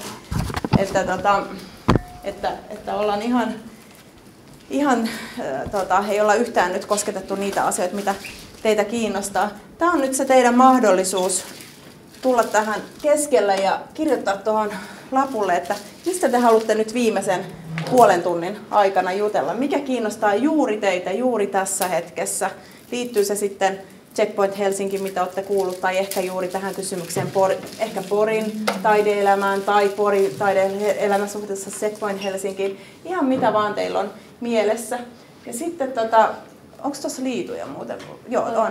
Niin sitten voitte, sitten kun teillä on mielessä se aihe, niin menkää tuohon tosiaan keskellä, kirjoittakaa se siihen, sanokaa nimenne aihe ja tuokaa se tänne mulle, niin mä teen tästä jonkunnäköisen tota, tämmöisen aikataulun, josta sitten näkyy, että tai ei aikataulu, mutta tässä nyt kerkee vain yksi tämmöinen lyhyt sessio sit per pöytä, mutta katsotaan kuinka paljon tulee eri työryhmiä.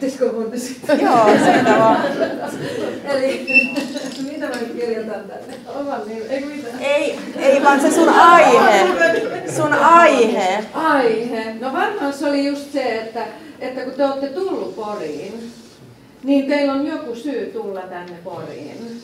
Ja, ja silloin meillä porilaisilla on joku syy tulla kuuntelemaan teitä. Ja, ja, toi, ja silloin se varmasti on sitten se yksi juttu, on just se, että millä tavalla tämmöinen Checkpoint Helsinki, joka on syntynyt tämmöisestä yksittäisestä vähän niin kuin vastarintajutusta, niin millä tavalla se voisi kehittyä semmoiseksi, että se sitten palvelisi tai ei palvelisi, mutta se loisi jotain uutta, joka kiinnostaisi meitä kanssa täällä. Porilaisia. Eli jos sä, et mit, mitä Checkpoint Helsinki voisi tehdä kiinnostaakseen porilaisia? Yes. Okei. Okay.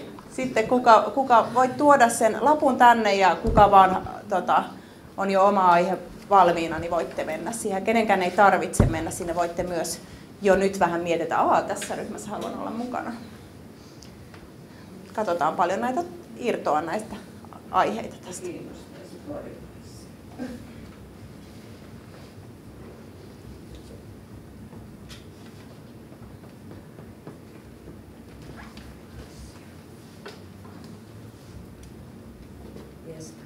Iso käsi Kiitos.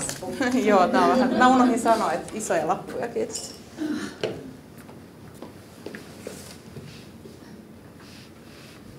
Yllättynyt siitä, että Ole hyvä, me keskustella.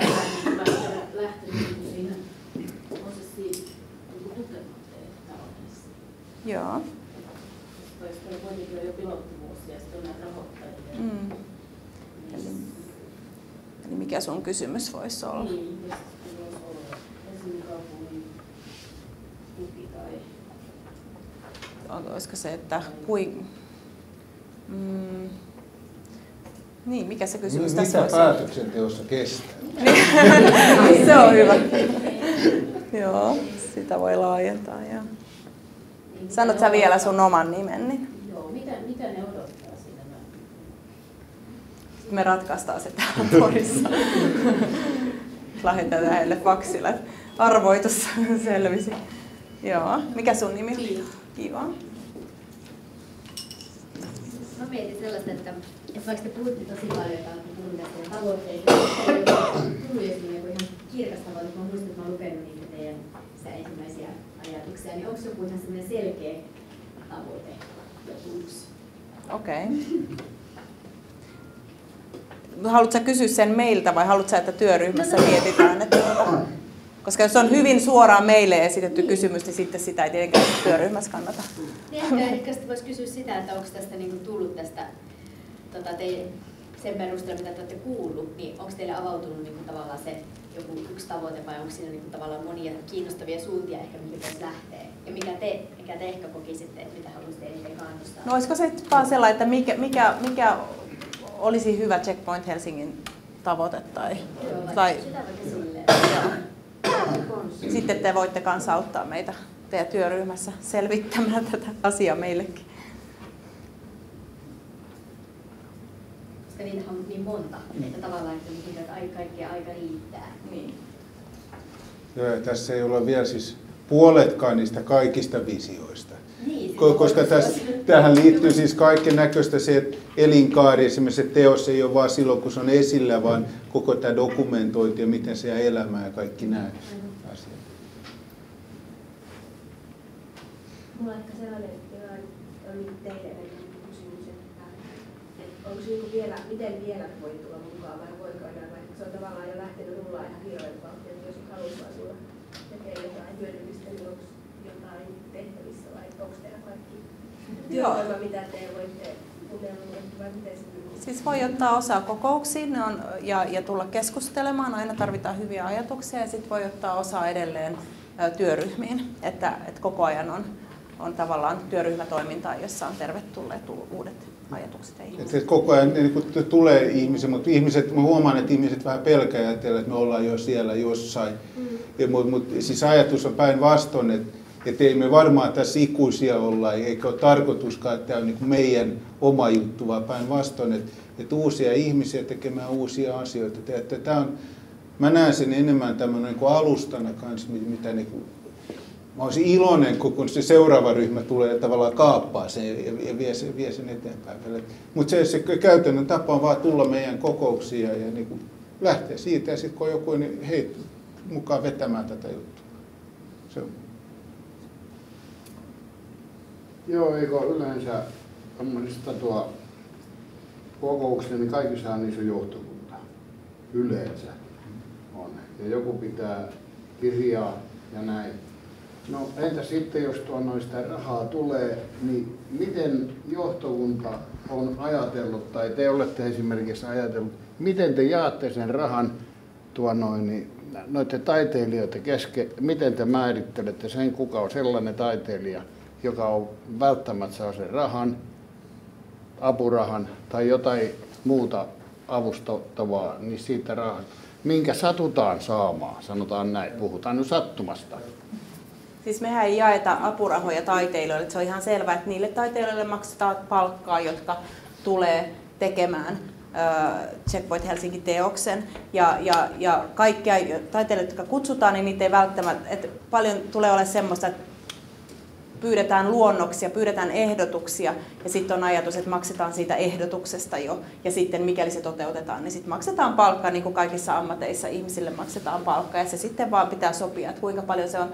Mutta hyvä, kun otit tämän puheeksi, mä kyselin Helsingin päässä joltain Checkpoint Helsinki kollegoilta, että että mitä se, että me tehdään ehkä tämmöinen open space pieni juttu tässä lopussa, että mikä olisi semmoinen, niin että mihin he tarvii nyt niin kuin ideoita. Että, ja sitten tämä vastaus oli, että tämä on nyt todella iso kysymys juuri tämä, että, että miten tavallaan kun eri taiteilijat tekee eri suuruisia projekteja, joihin menee eri paljon aikaa, mutta se on hirveän vaikea tavallaan määritellä se, että kuinka paljon maksat, miten se niin kuin arvottaa, että kuinka paljon maksaa kellekin, niin jos haluaisit sä tämmöisen työryhmän Ei, perustaa? Mä en ihan vaan kysyn ihan sivu. niin mä voisin, voisin voinut viedä terveiset, että nyt nämä porilaiset ratkaisi tämän meidän ongelman. Ei, ei, mutta siis, mutta siis tähän, tähän, tähän liittyy... Keskustelu tästä Joo, ei, mutta siis tähän liittyy selvästi se, että niin kuin taas, että että me nyt on kysymys kansainvälisistä taiteilijoista. Tietysti suomalaiset voi olla kans, mutta tässä, tässä on ihan selvää, että kukaan meistä ei tule koskaan tekemään checkpointille niin kuin teosta. Mm. Et, eli siis, siis on hyvin tärkeä, et, ja niin kuin mä en, vaikka tässä nyt on käyttänyt aika paljon aikaa, niin, niin mulle ei tule koskaan kukaan maksaa, maksamaan mulle mitään tästä. Joo, ja, ei. ja, ja se, se on niin kuin, tavallaan semmoinen tärkeä periaate, että et sitten tietysti just nämä, ke- ketä valitaan näistä, mitä otetaan, niin se on nyt just nämä työryhmät, ja ne, jotka tekee sen duunin, tulee kokouksiin, niin, niin, niin niillä on se päätäntävalta. Niin se on siinä mielessä avoin. Tietysti joku voisi ajatella, että joku voisi kaapata tämän. Mä en usko, että et, et, et, et, et siihen, siihen tulee menemään.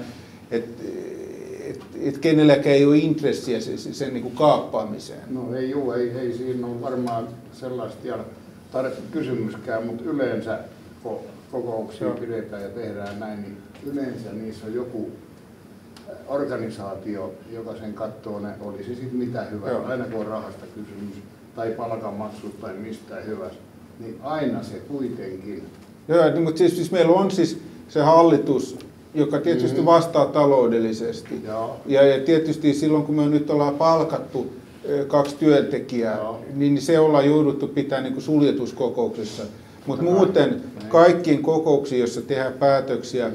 niin kuin taiteilijavalinnoista, miten me tästä edetään, niin ne on sillä, että kaikki jäsenet, tukiyhdistyksen jäsenet, se on pakko kirjata niin, että et se on tukiyhdistyksen jäsenet, tukiyhdistyksen jäsenen, tuossa kun ilmoittaa jollekin meille, että haluaa tulla tai tulee kokoukseen, Mm. me aloitetaan aina sillä, että hyväksytään uudet jäsenet, ne jotka on, ei ole ollut aikaisemmin tässä kokouksessa. Niin, et, ja niin kuin informaatio näistä lähtee kaikille, jotka ilmoittaa, että ne haluaa informaation siitä. Kyllä, kyllä. Et, et se, on, se on se samalla siis yritys tehdä semmo, niin kuin verkosto, ja tämä on siis kiinnostavaa, koska eh, juttelin yhden sosiologin kanssa, joka se väitti, että tämä on eh, maailmalla aika niin kuin paljon käytetty, mutta mutta Suomessa hirveän uutta, tämmöinen, kuin, että yritetään toimia niin kuin verkostona eikä, eikä niin semmoisena hierarkkisena yhdistyksenä.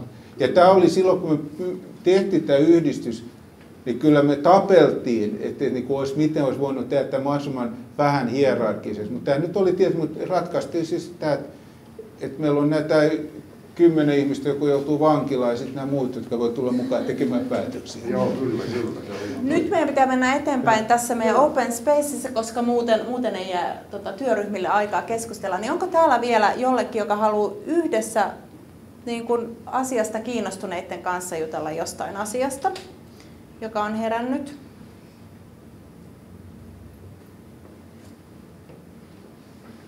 Joku, joka on jäänyt vielä. Jos ihan rehellisiä ollaan, niin kun Kukkenämä hanke käynnistyi, niin mielenkiintoista oli se, että puhuttiin museosta ja kuitenkin luotiin konsepti Kukkenheimille, joka oli oikeastaan tämmöinen tapahtuma palvelutuotannon tuotannon organisaatio ja sitten ajateltiin sillä tavalla, että joku toinen huolehtii sitten jatkossa siitä, mikä luo museosta museon eli, eli tuota kokoelma. Eli se museon muistiorganisaation rooli, sehän pudotettiin kokonaan Kukenheimista pois. Ja osa sitä keskustelua, joka, joka heräsi siitä rahoituksesta, niin tuli kai siitä, että Helsingin kaupungin taidemuseo tai Helsingin kaupunki edelleen edellytti, että kaupungin taidemuseolle ohjattu valtion osuus olisi ohjattu Kukenheim-hankkeelle, joka ei kuitenkaan täytä museolainsäädännön asettamia edellytyksiä. Nyt tämä teidän hankkeahan on ihan selvästi tämmöinen nykytaiteen hanke, jossa painopiste on, painopiste on tuota, näissä sisällöissä ja taiteen yhteisöllisessä roolissa. Ja se oli hirveän tärkeää, että siinä käytiin läpi kuitenkin se ajatus sitä elinkaarimallista eli dokumentaatiosta. Nyt Se mikä tietenkin on kiinnostavaa on se, että kun nämä hankkeet, jos ajatellaan, että jollain tavalla kuitenkin olisi osa ja kannanotto siihen Guggenheimiin, niin erittäin tärkeää olisi, että tämä olisi osa myös siihen Guggenheimin kaikkein tärkeimpään kohtaan, jossa se projekti ontui. Eli siinä, että puhuttiin museosta ilman muistiorganisaatioiden olla velvoitteita. Sehän on se, mikä museossa kaikkein kalleinta on. Eli se, että pyrkiä huolehtimaan sitä dokumentaatiosta, pyrkiä huolehtimaan niistä pelisäännöistä, pyrkiä huolehtimaan siitä, että se materiaali, mikä teilläkin muodostuu, se talletetaan sekä sisältöjen standardisointien osalta, ontologiat, sanastot, etc., että sitten tekijäoikeus, juridiikan ja siihen liittyvien sopimusjuridiikan mukaisesti tuota tapoja, ää, tapoja noudattaa, oli sitten joku open data tai mikä tahansa lisensointi, joka siinä on, niin että se takaa sen, että se aineisto todellisuudessa on jatkossa myös käytettävissä. Ja se on valtavan työläs osa-alue. Sen jälkeen vielä tarvitaan sitten joku, joka sen tallennustyön huolehtii ja huolehtii siitä tallennusympäristöstä ja siitä, että ehkä se jatkossa saa osa, vaikkapa jos Suomeen joskus syntyy tämä pitkäaikaissäilytysjärjestelmä, eli kun teknologia ja digitalisoinnin muuttuu, niin pystytään konvertoimaan ne tallennusaineistot sillä tavalla, että ne on elossa 10 tai 20 tai 100 vuoden päästä. Te mainitsitte tämä elinkaarimalli, mutta se elinkaarimalli kohdistuu huomattavasti enemmän siihen taidehankkeen tai sen taideteoksen taideobjektin kestävyyteen, ehkä kuin sitten siihen ison kysymykseen, että minkälainen elinkaari muodostuu näiden teidän tallennusaineistolle. Tästähän jos tämä lähtee hienosti liikkeelle, tästähän syntyy täysin ainutlaatuinen uuden tyyppinen konsepti, joka tällä tavalla vastaa myös muistiorganisaation rooli.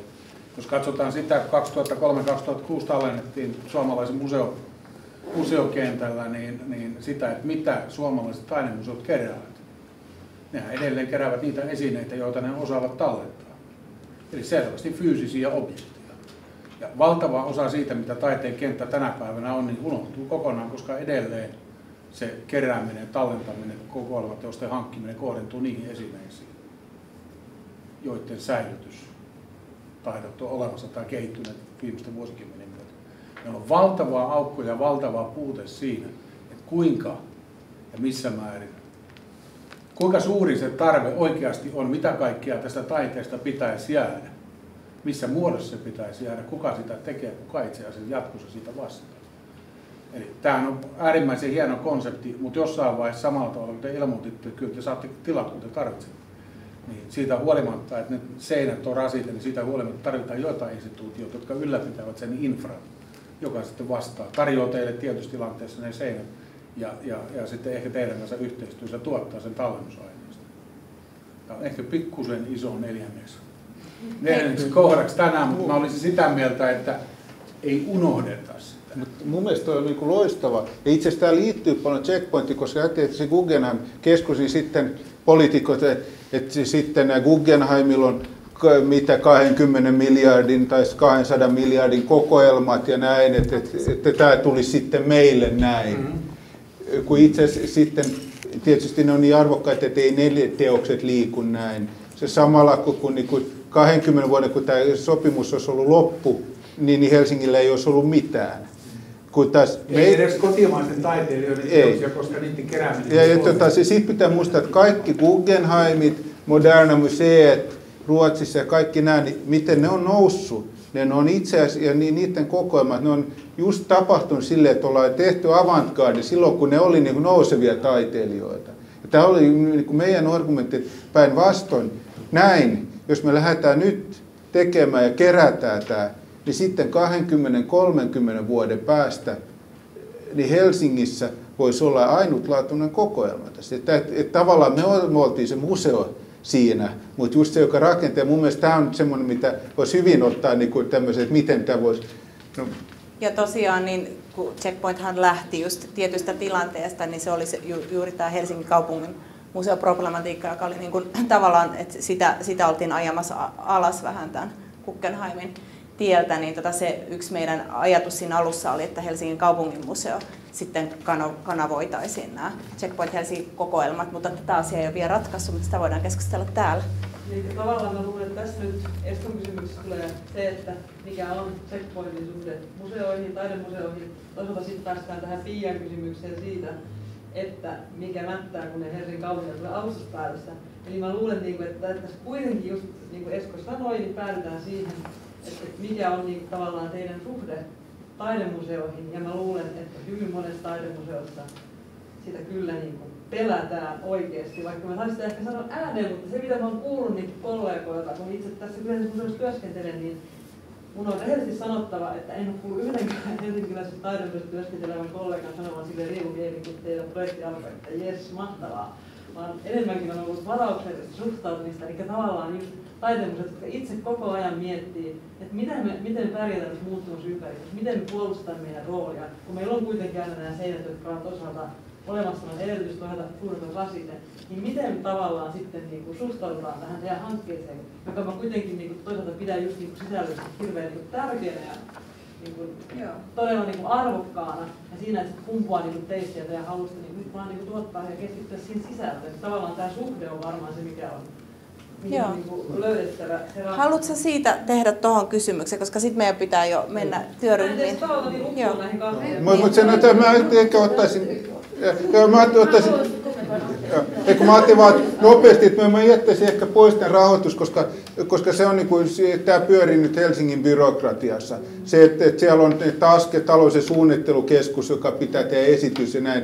Tavallaan ne valtuusto on, vanha valtuusto tehnyt rahoituspäätöksen, että, että siellä on niin kuin melkein miljoona rahaa odottamassa, mutta sitten on, niin kuin, tämä on niin kuin, jäänyt erilaisia byrokraattisia, että se ei ehkä ole kovin kiinnostunut, mutta tämä, niin kuin, tämä voisi olla se, se aihe just, että miten nämä museon ja miten nämä, nämä säilyttämiset ja nämä, miten se voisi olla, se voisi olla kiinnostavaa. Tar- tarkoitatko sitä kokoelmaa? Joo, Se- siis- joo siis sen mä to- laitoin tänne jo. Joo. Niin, jos tuosta kokoelmasta vielä Eskon kysymyksessä oli mun mielestä olennainen vielä näitä esineiden keräämistä enemmän tämä doku, ai, niin kuin dokumentaatio, koska te olette saanut kentän liikkeelle. Joo. Tavallaan, että on semmoinen ilmiö just tässä meidän ajassa, joka Mm. on tosi merkittävä, eli tavallaan sit ihan sen kerääminen sillä tavalla, että voi myös tutkia Mm. myöhemmin, että mitä se oikeasti kertoo Joo. tämän ajan niin kuin niistä arvoista, että sekin, Mm.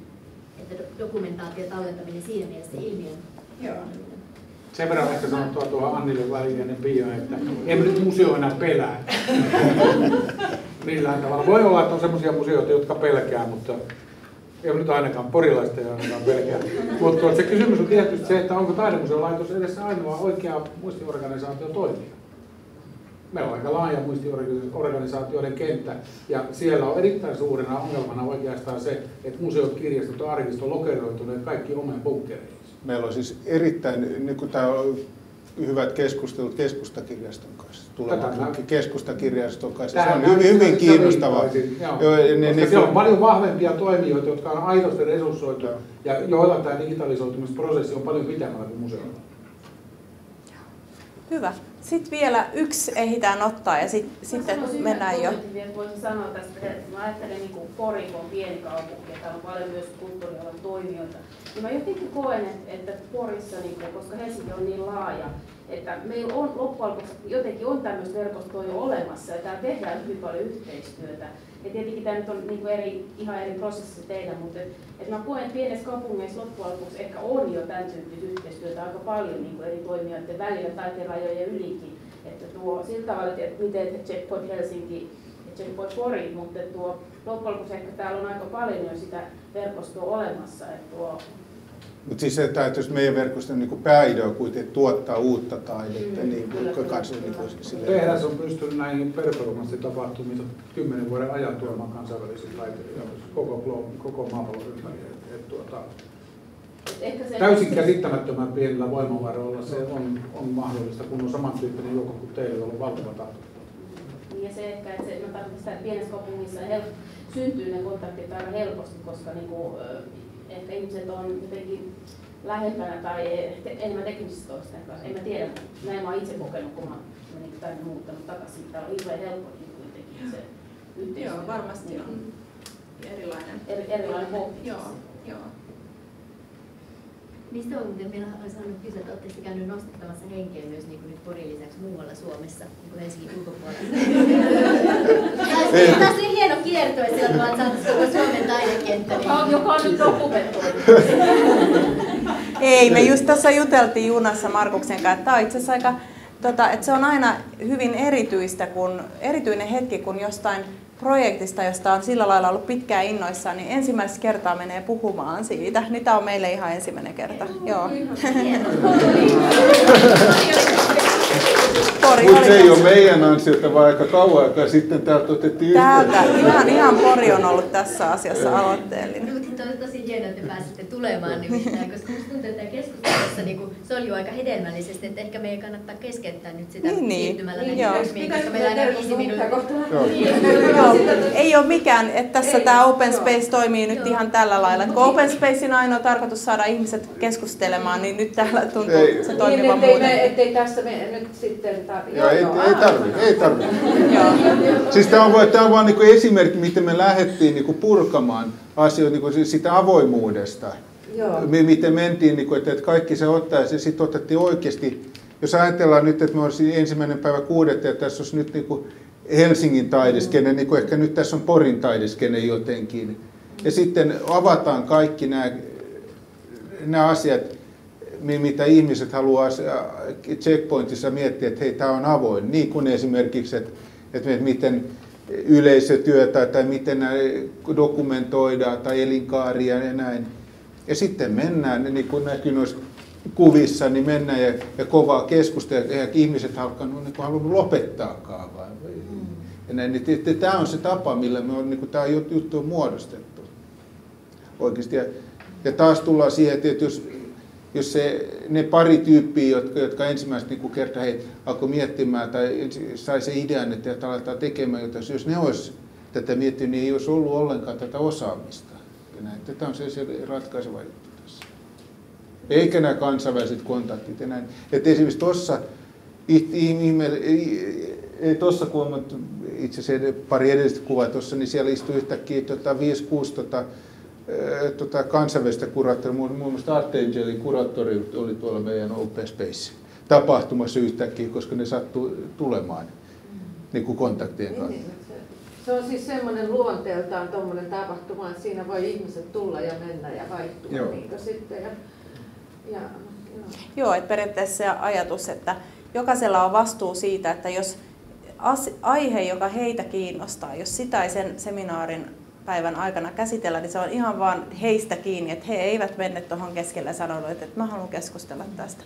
Ja toki käy joskus niin, että joku on sitten se ainoa, joka haluaa keskustella tästä. Että tässä todella, sit kun tekee open spacein, open spacein silleen sitten, niin jos, jos tämä nyt olisi edennyt semmoiseksi, niin tota, sitten seuraava askel olisi, että olisitte tullut tänne ja laittanut nimenne työryhmään, missä te haluatte keskustella, niin joskus voi olla, että johonkin paperiin ei sitten tule kenenkään nimi ja sitten se, siinä on sitten taas tämä tämä ihminen voi itse päättää, että no, tässä hänellä on niin kerrankin aikaa pohtia tätä asiaa, kun yleensä on niin kiire. Tai sitten hän voi vaan, niin kuin, no, mennäänpä sitten, jos hän haluaa mieluummin keskustella, niin mennä työryhmään, joka sitten seuraavaksi eniten kiinnostaa itse. Se, on, se on tässä tämä ajatus, että laittaa sen pallon ihmisille.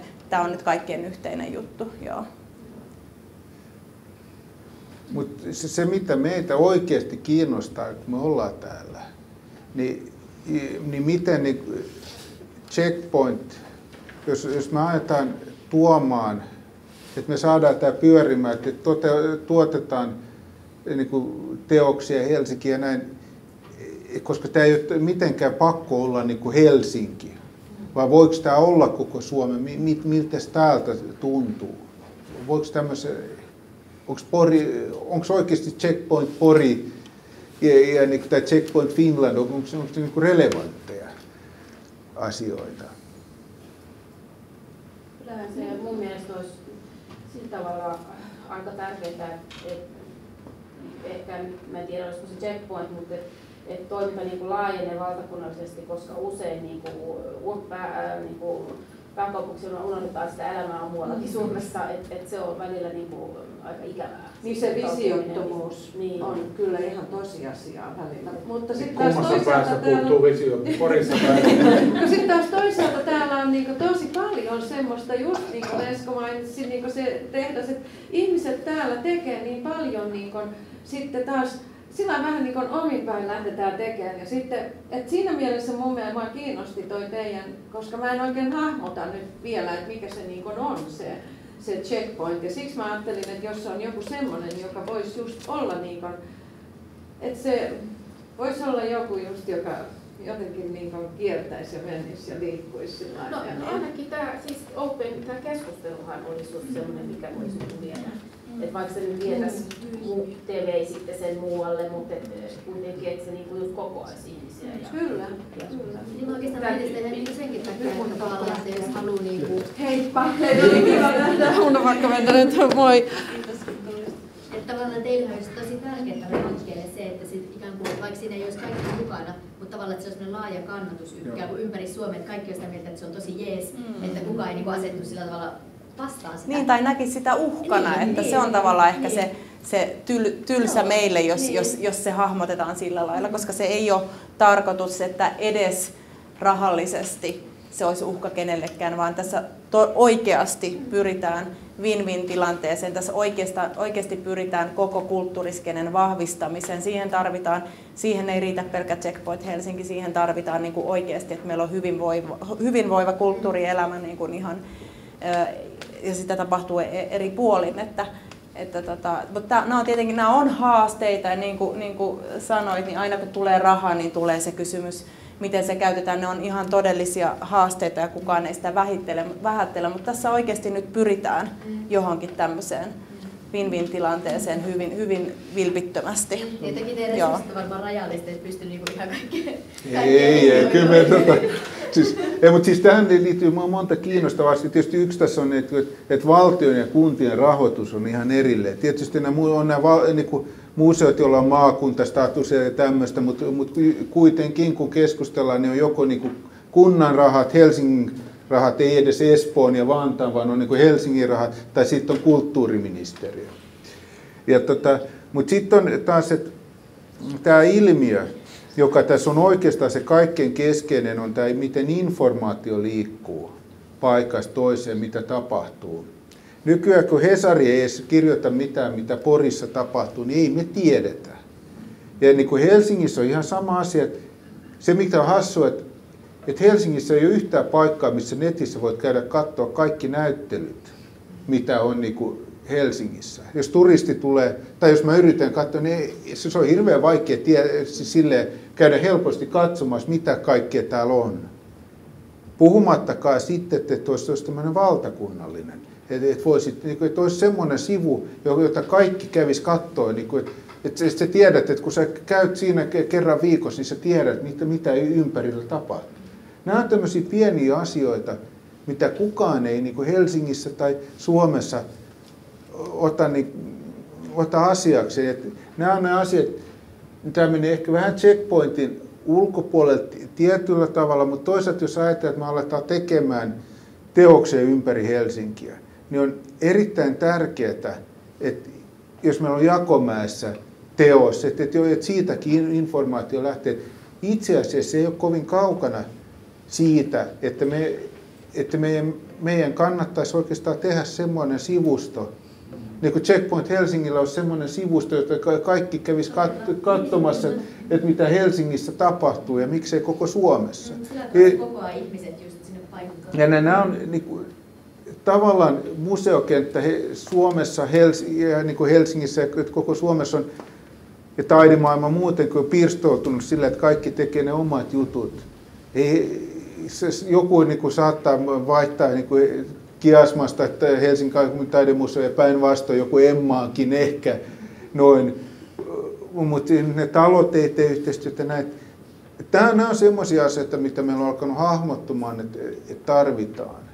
Ja, ja tämmöisiä niin kuin, muokata uudestaan nämä struktuurit. Ja kyllä tämmöistä kannatusta on. Mutta tämä, me, tämä on niin uusi asia meille. Että, ja täytyy tehdä korissa.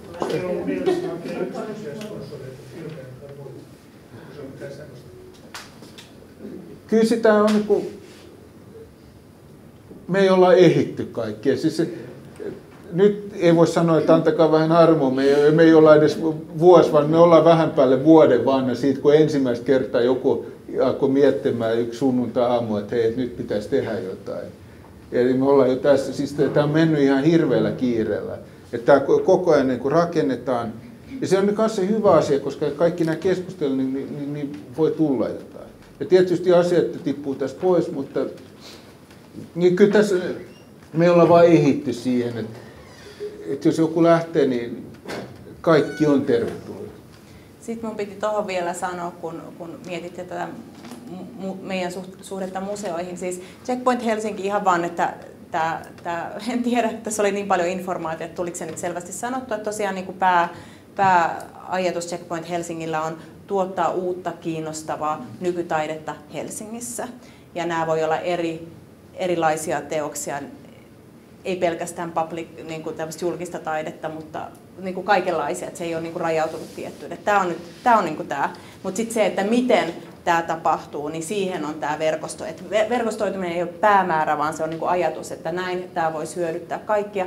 Yksi palaute tai yksi asia, mitä ollaan kuultu, niin, niin monella museolla on oikeasti halu tuottaa uutta, te, u, uutta taidetta ja, ja, ja niin kuin, et, et, nämä ei ole mitenkään uusia ajatuksia, mutta aika harvalla on siihen resursseja. Ja tämä on tämä, missä ajatellaan, että voi tapahtua yhteistyötä, että et, et jos tapahtuu tämmöisiä niin kuin kiinnostusten kohtaamisia, että et Checkpoint Helsingin nämä vaihtuvat kuraattorit, mitä on, jotka kanssa miettii sitten Helsingissä yhteistyöpartnereita, niin yrittää löytää sellaiset partnerit, jotka oikeasti se sopii siihen heidän oikeaan prosessiin ja kiinnostukseen, mitä vaikka Kiasmassa tai missä vaan valokuvataiteen museossa tai rakennustaiteen museossa tapahtuu, että hei, tämä sopisi tänne, että tämä, tämä, tämä on niin sekä museon että Checkpoint Helsingin yhteistuotanto. Että tämä on tämä, miten tämä voisi käytännössä tapahtua. No miten te suhtautuisitte semmoiseen sitten, että jos yhtäkkiä joku muusta taidemuseon maakunnasta tai, tai pohjoisuus ottaisi teidän yhteyttä ja kutsuisi teidät, joo, että okei, tai haluaisit, me halutaan, että me rahoitetaan teille tämä teos, että se olisikaan Helsingissä. Se olisi varmaan to, tosi kiinnostava mm. juttu.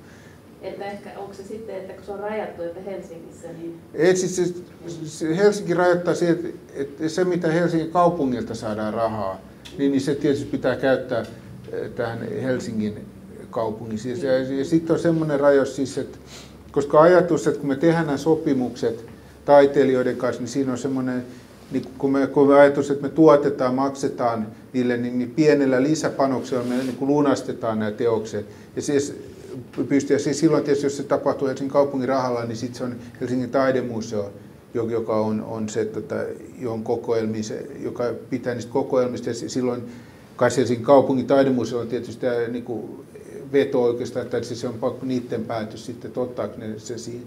Mutta tietysti, jos se ei tapahdu niin kuin Helsingin kaupungin nimenomaan sen rahoituksen vai muuten, niin, niin siinä ei ole mitään niin ongelmaa. Mä vähän byrokraattina palaan tuohon vielä, että meillä on 16 aluetaidemuseoita, joiden tehtävänä olisi huolehtia kuvataiteen ja visuaalisen kulttuurin dokumentoinnista. Ja meillä on tällä hetkellä 300 kuntaa vielä tässä maassa. Et se jos me nähdään nyt niin, että Helsingin kaupunki hankkii niitä taideteoksia pelkästään, ja kuitenkin se, mikä on kaikkein arvokkainta, tämä verkottuminen tehdään, tämä uusi konsepti sisällöntuotannossa, niin se, että se kaari olisi sinne loppuun asti sen taideteoksen ää, niin syntymiseen ja dokumentaatioon, että se, että se jää kulttuurisena objektina elämään myös niissä tallenteissa, niin sen miettiminen loppuun asti, niin se ei koskaan voi rajautua vain Helsingin kaupunkiin, vaan siinä on kansallista kulttuuripääomasta aina kysymys ja paljon suurimmista asioista. Ja kun se ei jää kunnan rajalle tai kaupunkirajalle, niin, niin tuota, ihan ensimmäisenä kun täytyy lähteä venyttämään niitä rajoja, että ei niin näkisi tätä. Vaikka rahoittaja on, niin ihan samalla tavalla Pori rahoittaa kansallista kulttuuripäivää. Ihan samalla tavalla nämä 15 muuta tai 14, jos ei lasketa näitä, niin osallistuu tähän samaan työhön. Se ei voi sitoa Helsingin kaupungin käsiä sillä tavalla kuin nyt ehkä ajatellaan. Mutta ehkä suurin ongelma, mä väittäisin tällä hetkellä nyt tässä erinomaisen hienossa konseptissa, jota ei kannata jättää pelkästään tapahtumatuotanto-organisaatioksi, on kuitenkin sitten Antti Guggenheim maine. Koska tämä, mä en tiedä kuinka suuri se tällä hetkellä on vielä, mutta koska tämä teidän peruskonsepti on niin keskeisen tärkeä, mä ajattelen sitä muistiorganisaation roolin tallentamisen mallinnosta ja uutta tapaa verkottua ja tuottaa aidosti niin kuin tehokkaasti uutta, paljon laajemmalla pohjalla kuin se, että tilaajana olisi joku Helsingin kaupungin kaupunkisuunnitteluvirasto yhdessä taidemuseon kanssa, jotka miettii, että minkälaiset julkiset taideteokset sopii ympäristöön. Eli tuottaa niin kuin paljon suuremmalla ja paneutuneemmalla katseella näitä julkisia taideteoksia. Niin se on niin merkittävä uusi konsepti, jota varmasti kovin monet on miettineet, mutta kukaan ei ole pystynyt viemään sitä niin pitkälle kuin te olette vieneet. Niin eh, ehkä toisaalta se voi olla niin abstrakti taas, että vaan niitä ihmisiä, jotka on alalla sisällä, niin se kiinnostaa. Mutta mut niin sen nostaminen esille ja siihen panostaminen myös tulisi niin vahvemmin, niin kyllä mä näkisin se erittäin tärkeäksi tälle hankkeelle tällä hetkellä. Mä, mä vastaan siihen sitten. Tota, se on, siinä on, niin kuin onneksi oli tämä niin kuin kunnallisvaalit tässä välissä. Ja ehkä onneksi me ei pystytty tekemään tästä niin kuin kunnallisvaaliasiakaan, vaikka vähän oli ajatus, että sitten voisi tulla, mutta kunnallisvaalit meni ihan eri lailla. Siinä ei ollut yhtään kunnallisia teemoja tänä vuonna ollenkaan. Ja, mutta tota, on niin kuin uusi valtuusto, ja, ja tota, Pajunen sen kanssa, jotkut kävi sen luona, tässä oli tunnin keskustelemassa, todella hyvää keskustelua ja näin, että, että mä luulen, että politiikassa on, ja on sanotaan, että, että meiltä lähti kunnallisvallissa jäi pari et, tota, pois valtuustosta, jotka oli voimakkaita meidän tukijoita, mutta onneksi myös nämä voimakkaammat Guggenheim, et, tota, esimerkiksi vihreissä tippu kans pois. Eli tavallaan siinä on monta uutta tyyppiä, joilla, joilla tämä on niin jo vanha juttu. Että et ei tämä nyt, nyt, että me ollaan ehkä päästy siitä kuitenkin nyt. Kyllä mä koen. Joo. Et, et siis siitä nämä niin Helsingin museot, esim, niin, esimerkiksi Helsingin kaupungin taidemuseohan on ollut niin kuin hyvin paljon käymistilassa. Siellä niin kuin on, ollaan tiedän, että, että ollaan oltu aika ihmeessä, että mikä tämmöinen juttu nyt tulee, mutta siinäkin nyt on, on niin kuin tapahtunut nyt, niin kuin, et, koska kun me lähdettiin, se ensimmäinen otsikko meillä oli, kun meillä oli se ensimmäinen paperi, että Pajuselle oli, oli tämmöinen niin kuin, miten kehittäisi Helsingin kaupungin taidemuussa uuteen suuntaan, koska se, se oli, niin kuin, se oli niin kuin Guggenheim-keskustelua. Ja nehän sitten, että, niin kuin, että tästä tulee taas joku, joka sörkki tämän. Niin nyt ne on ymmärtänyt, että ei ole sitä. Että näin, ainakin aika moni siellä. Että, tai, ja ne, tämä on ehkä rauhoittumassa siinä. Mä siitä kun Melin sanoi, että, että on niin kuin ne ehkä ymmärtää, jotka on taidekentässä ja ymmärtää, kuin hieno idea tämä on. Mä, mä kuulin tästä tänään ensimmäisen kerran teidän esittämänä ja mä huomasin, että se innostus, mikä teillä on, niin se tarttuu. Ja ajattelen, että, että jos te nyt mietitte, että Helsingin kaupungin tämä rahoituspäätös liittyy, niin teidän pitää päästä sinne aika äkkiä kertomaan se innostuksen kautta, se tulee se raha. Joo, siis itse asiassa saattaa olla, että, että ensi viikon maanantaina se on kaupunginhallitus, mutta siitä en ole varma vielä, mutta on tullut vähän, että, se on nyt yhtäkkiä taas sitten tullut eteenpäin. Että kyllä, se, kyllä se tästä niin kuin menee eteenpäin. Ja, ja kyllä me ollaan niin kuin tavattu melkein kaikki poliitikot ja näin. Että kyllä ne tavallaan tietää sen, minkä voiman tässä on. Ja, siis on, on, tämä on vähän meille semmoinen niin kuin taidemaailmalla semmoinen kerran 20 vuodessa, että, että jos tämä kaatuu, niin, niin sitten sit ei 20 vuoteen varmastikaan. Siis kun seuraavat 20 vuotta keskustellaan taas jäähalleista ja tämmöistä. Ja, tota, ja, ja, mutta tavallaan mä luulen, että kaupungissa kans tajutaan, että tämmöistä liikettä, niin kuin, ja mä voin sanoa, että tätä asiantuntemusta, mitä tässä on, niin monella, monenlaista erilaista asiantuntemusta ennen kontaktia, niin semmoistakaan Helsingin kaupunki ei saa niin kuin, silleen näin. Vai, vai se on nyt? Että mä luulen, että se on vähän molemmin puolen. Ja plus, että, että just, että tuli uusi kaupungin, kaupungin että varakaupunginjohtaja on siis kulttuuri, siis sen ala, että Ritva Viljanen, joka tajusi, että hei, että et, et, et, niin tässä on jotain ja niin on innostunut. Joka kanssa on semmoinen, siis se saattoi soittaa niin joskus yhdeksältä illalle, hei tässä on Ritva. Mä ajattelin, Ritva, kuka? Joo, tästä Helsingin kauppa. Niin, tavallaan, että et, et, näin. Että et siinä on semmoinen konto. Miten onko tota, niin teillä vielä tavallaan esimerkiksi Helsingin taideelämässä tai tämmöisiä lasikattoja rikkomatta? Mä mietin esimerkiksi niitä ihmepäiviä, kun mäkin olin siellä ja. kuuntelemassa, että sä olit ainakin siellä esittelemässä, mutta oliko niin kuin, mä muistan, että Checkpoint Helsinki, se ei tainnut olla ainakaan mitenkään näkyvässä osassa siinä ohjelmassa, kun mä jotenkin ajattelin, että se olisi ollut ehkä aiheellista olla. Niin joo. Että se oli, että koetteko te, että te ette esimerkiksi huomioida siellä, koska se on merkittävä nykytaiteet ja siellä oli tuntuu olevan kaikki paikalla niin sanotusti. Että... Niin. En mä tiedä siis, koska tota, itse asiassa monet, nehän, mehän niin keskustellaan niiden kanssa koko ajan niin yhteistyöstäkin. Ja, ja mä tiedän, että käytävillä oli keskusteltu hyvin paljon. Ja, ja itse asiassa ne on monet näistä niin kuin, ihmepäivien takana ollut niin kuin hyvin aktiivisia meidänkin niin kuin siellä taustalla. Et mä luulen, että ihan hyväkin, että ei niin kuin joka puolella olisi, olisi, olisi tämä.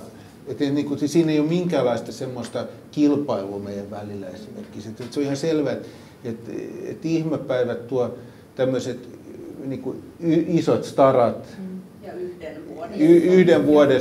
Ja me taas ei halua, me, meillä ei ole minkäänlaista intressiä tuoda ne, ne jotka on jo valmiit. Niin meillä se hauska juttu, että jos me pystytään tuoda jonkun, joka sitten niin kuin kymmenen vuoden päästä on niin kuin ihmepäivillä tai Guggenheimin musta tai jotain tämmöistä.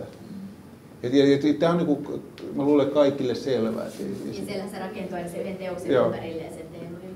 Et päivässä siis me, me on niin kuin suunnitelmia niin kuin tämmöistä pedagogista työtä niin kuin tehdä yhteistyössä, just ja keskustakirjastoa. Mm-hmm.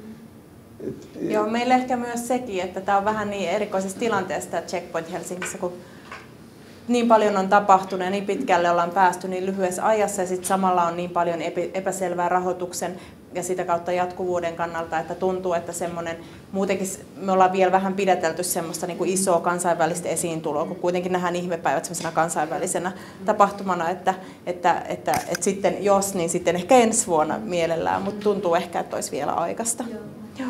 Et me ei olla vielä lähetetty edes mitään isoa kansainvälistä lehdistötiedotetta tässä, että odotellaan, että on asiat vielä vähän selvempiä. Mut, ja, siis tietysti kansainvälistä tulee koko ajan. Siis ehkä se, mitä nyt on tietynlaista, se joiltakin aikana kuullut se, että, mitä checkpoint, joka noin vaan niin kuin nousee, ja niin kuin yhtäkkiä, niin kuin ehkä muilta kulttuurialueilta välillä, että, että, että niin kuin, tosta, niin kuin kuvataide yhtäkkiä nousee ja niin kuin saisi ison määrärahan näin, että, että se semmoinen ehkä vähän nyt on, mutta en, en mä usko, että se siitä sen, sen kummallisemmin on. on. Et tietysti on monta hanketta, jotka kilpailee, mutta mä luulen, että kuvataiden kentän sisällä kaikki ymmärtää, että tämä on niin kaikille hyvä juttu.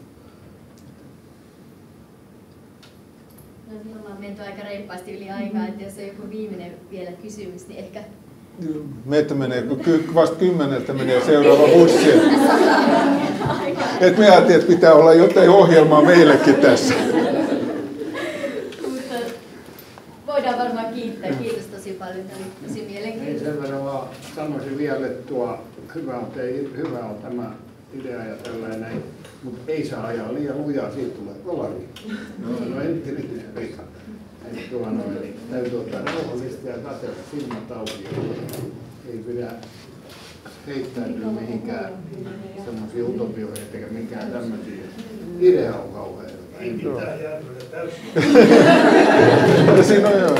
Kiitos molemmista. Molemmilla kommenteilla.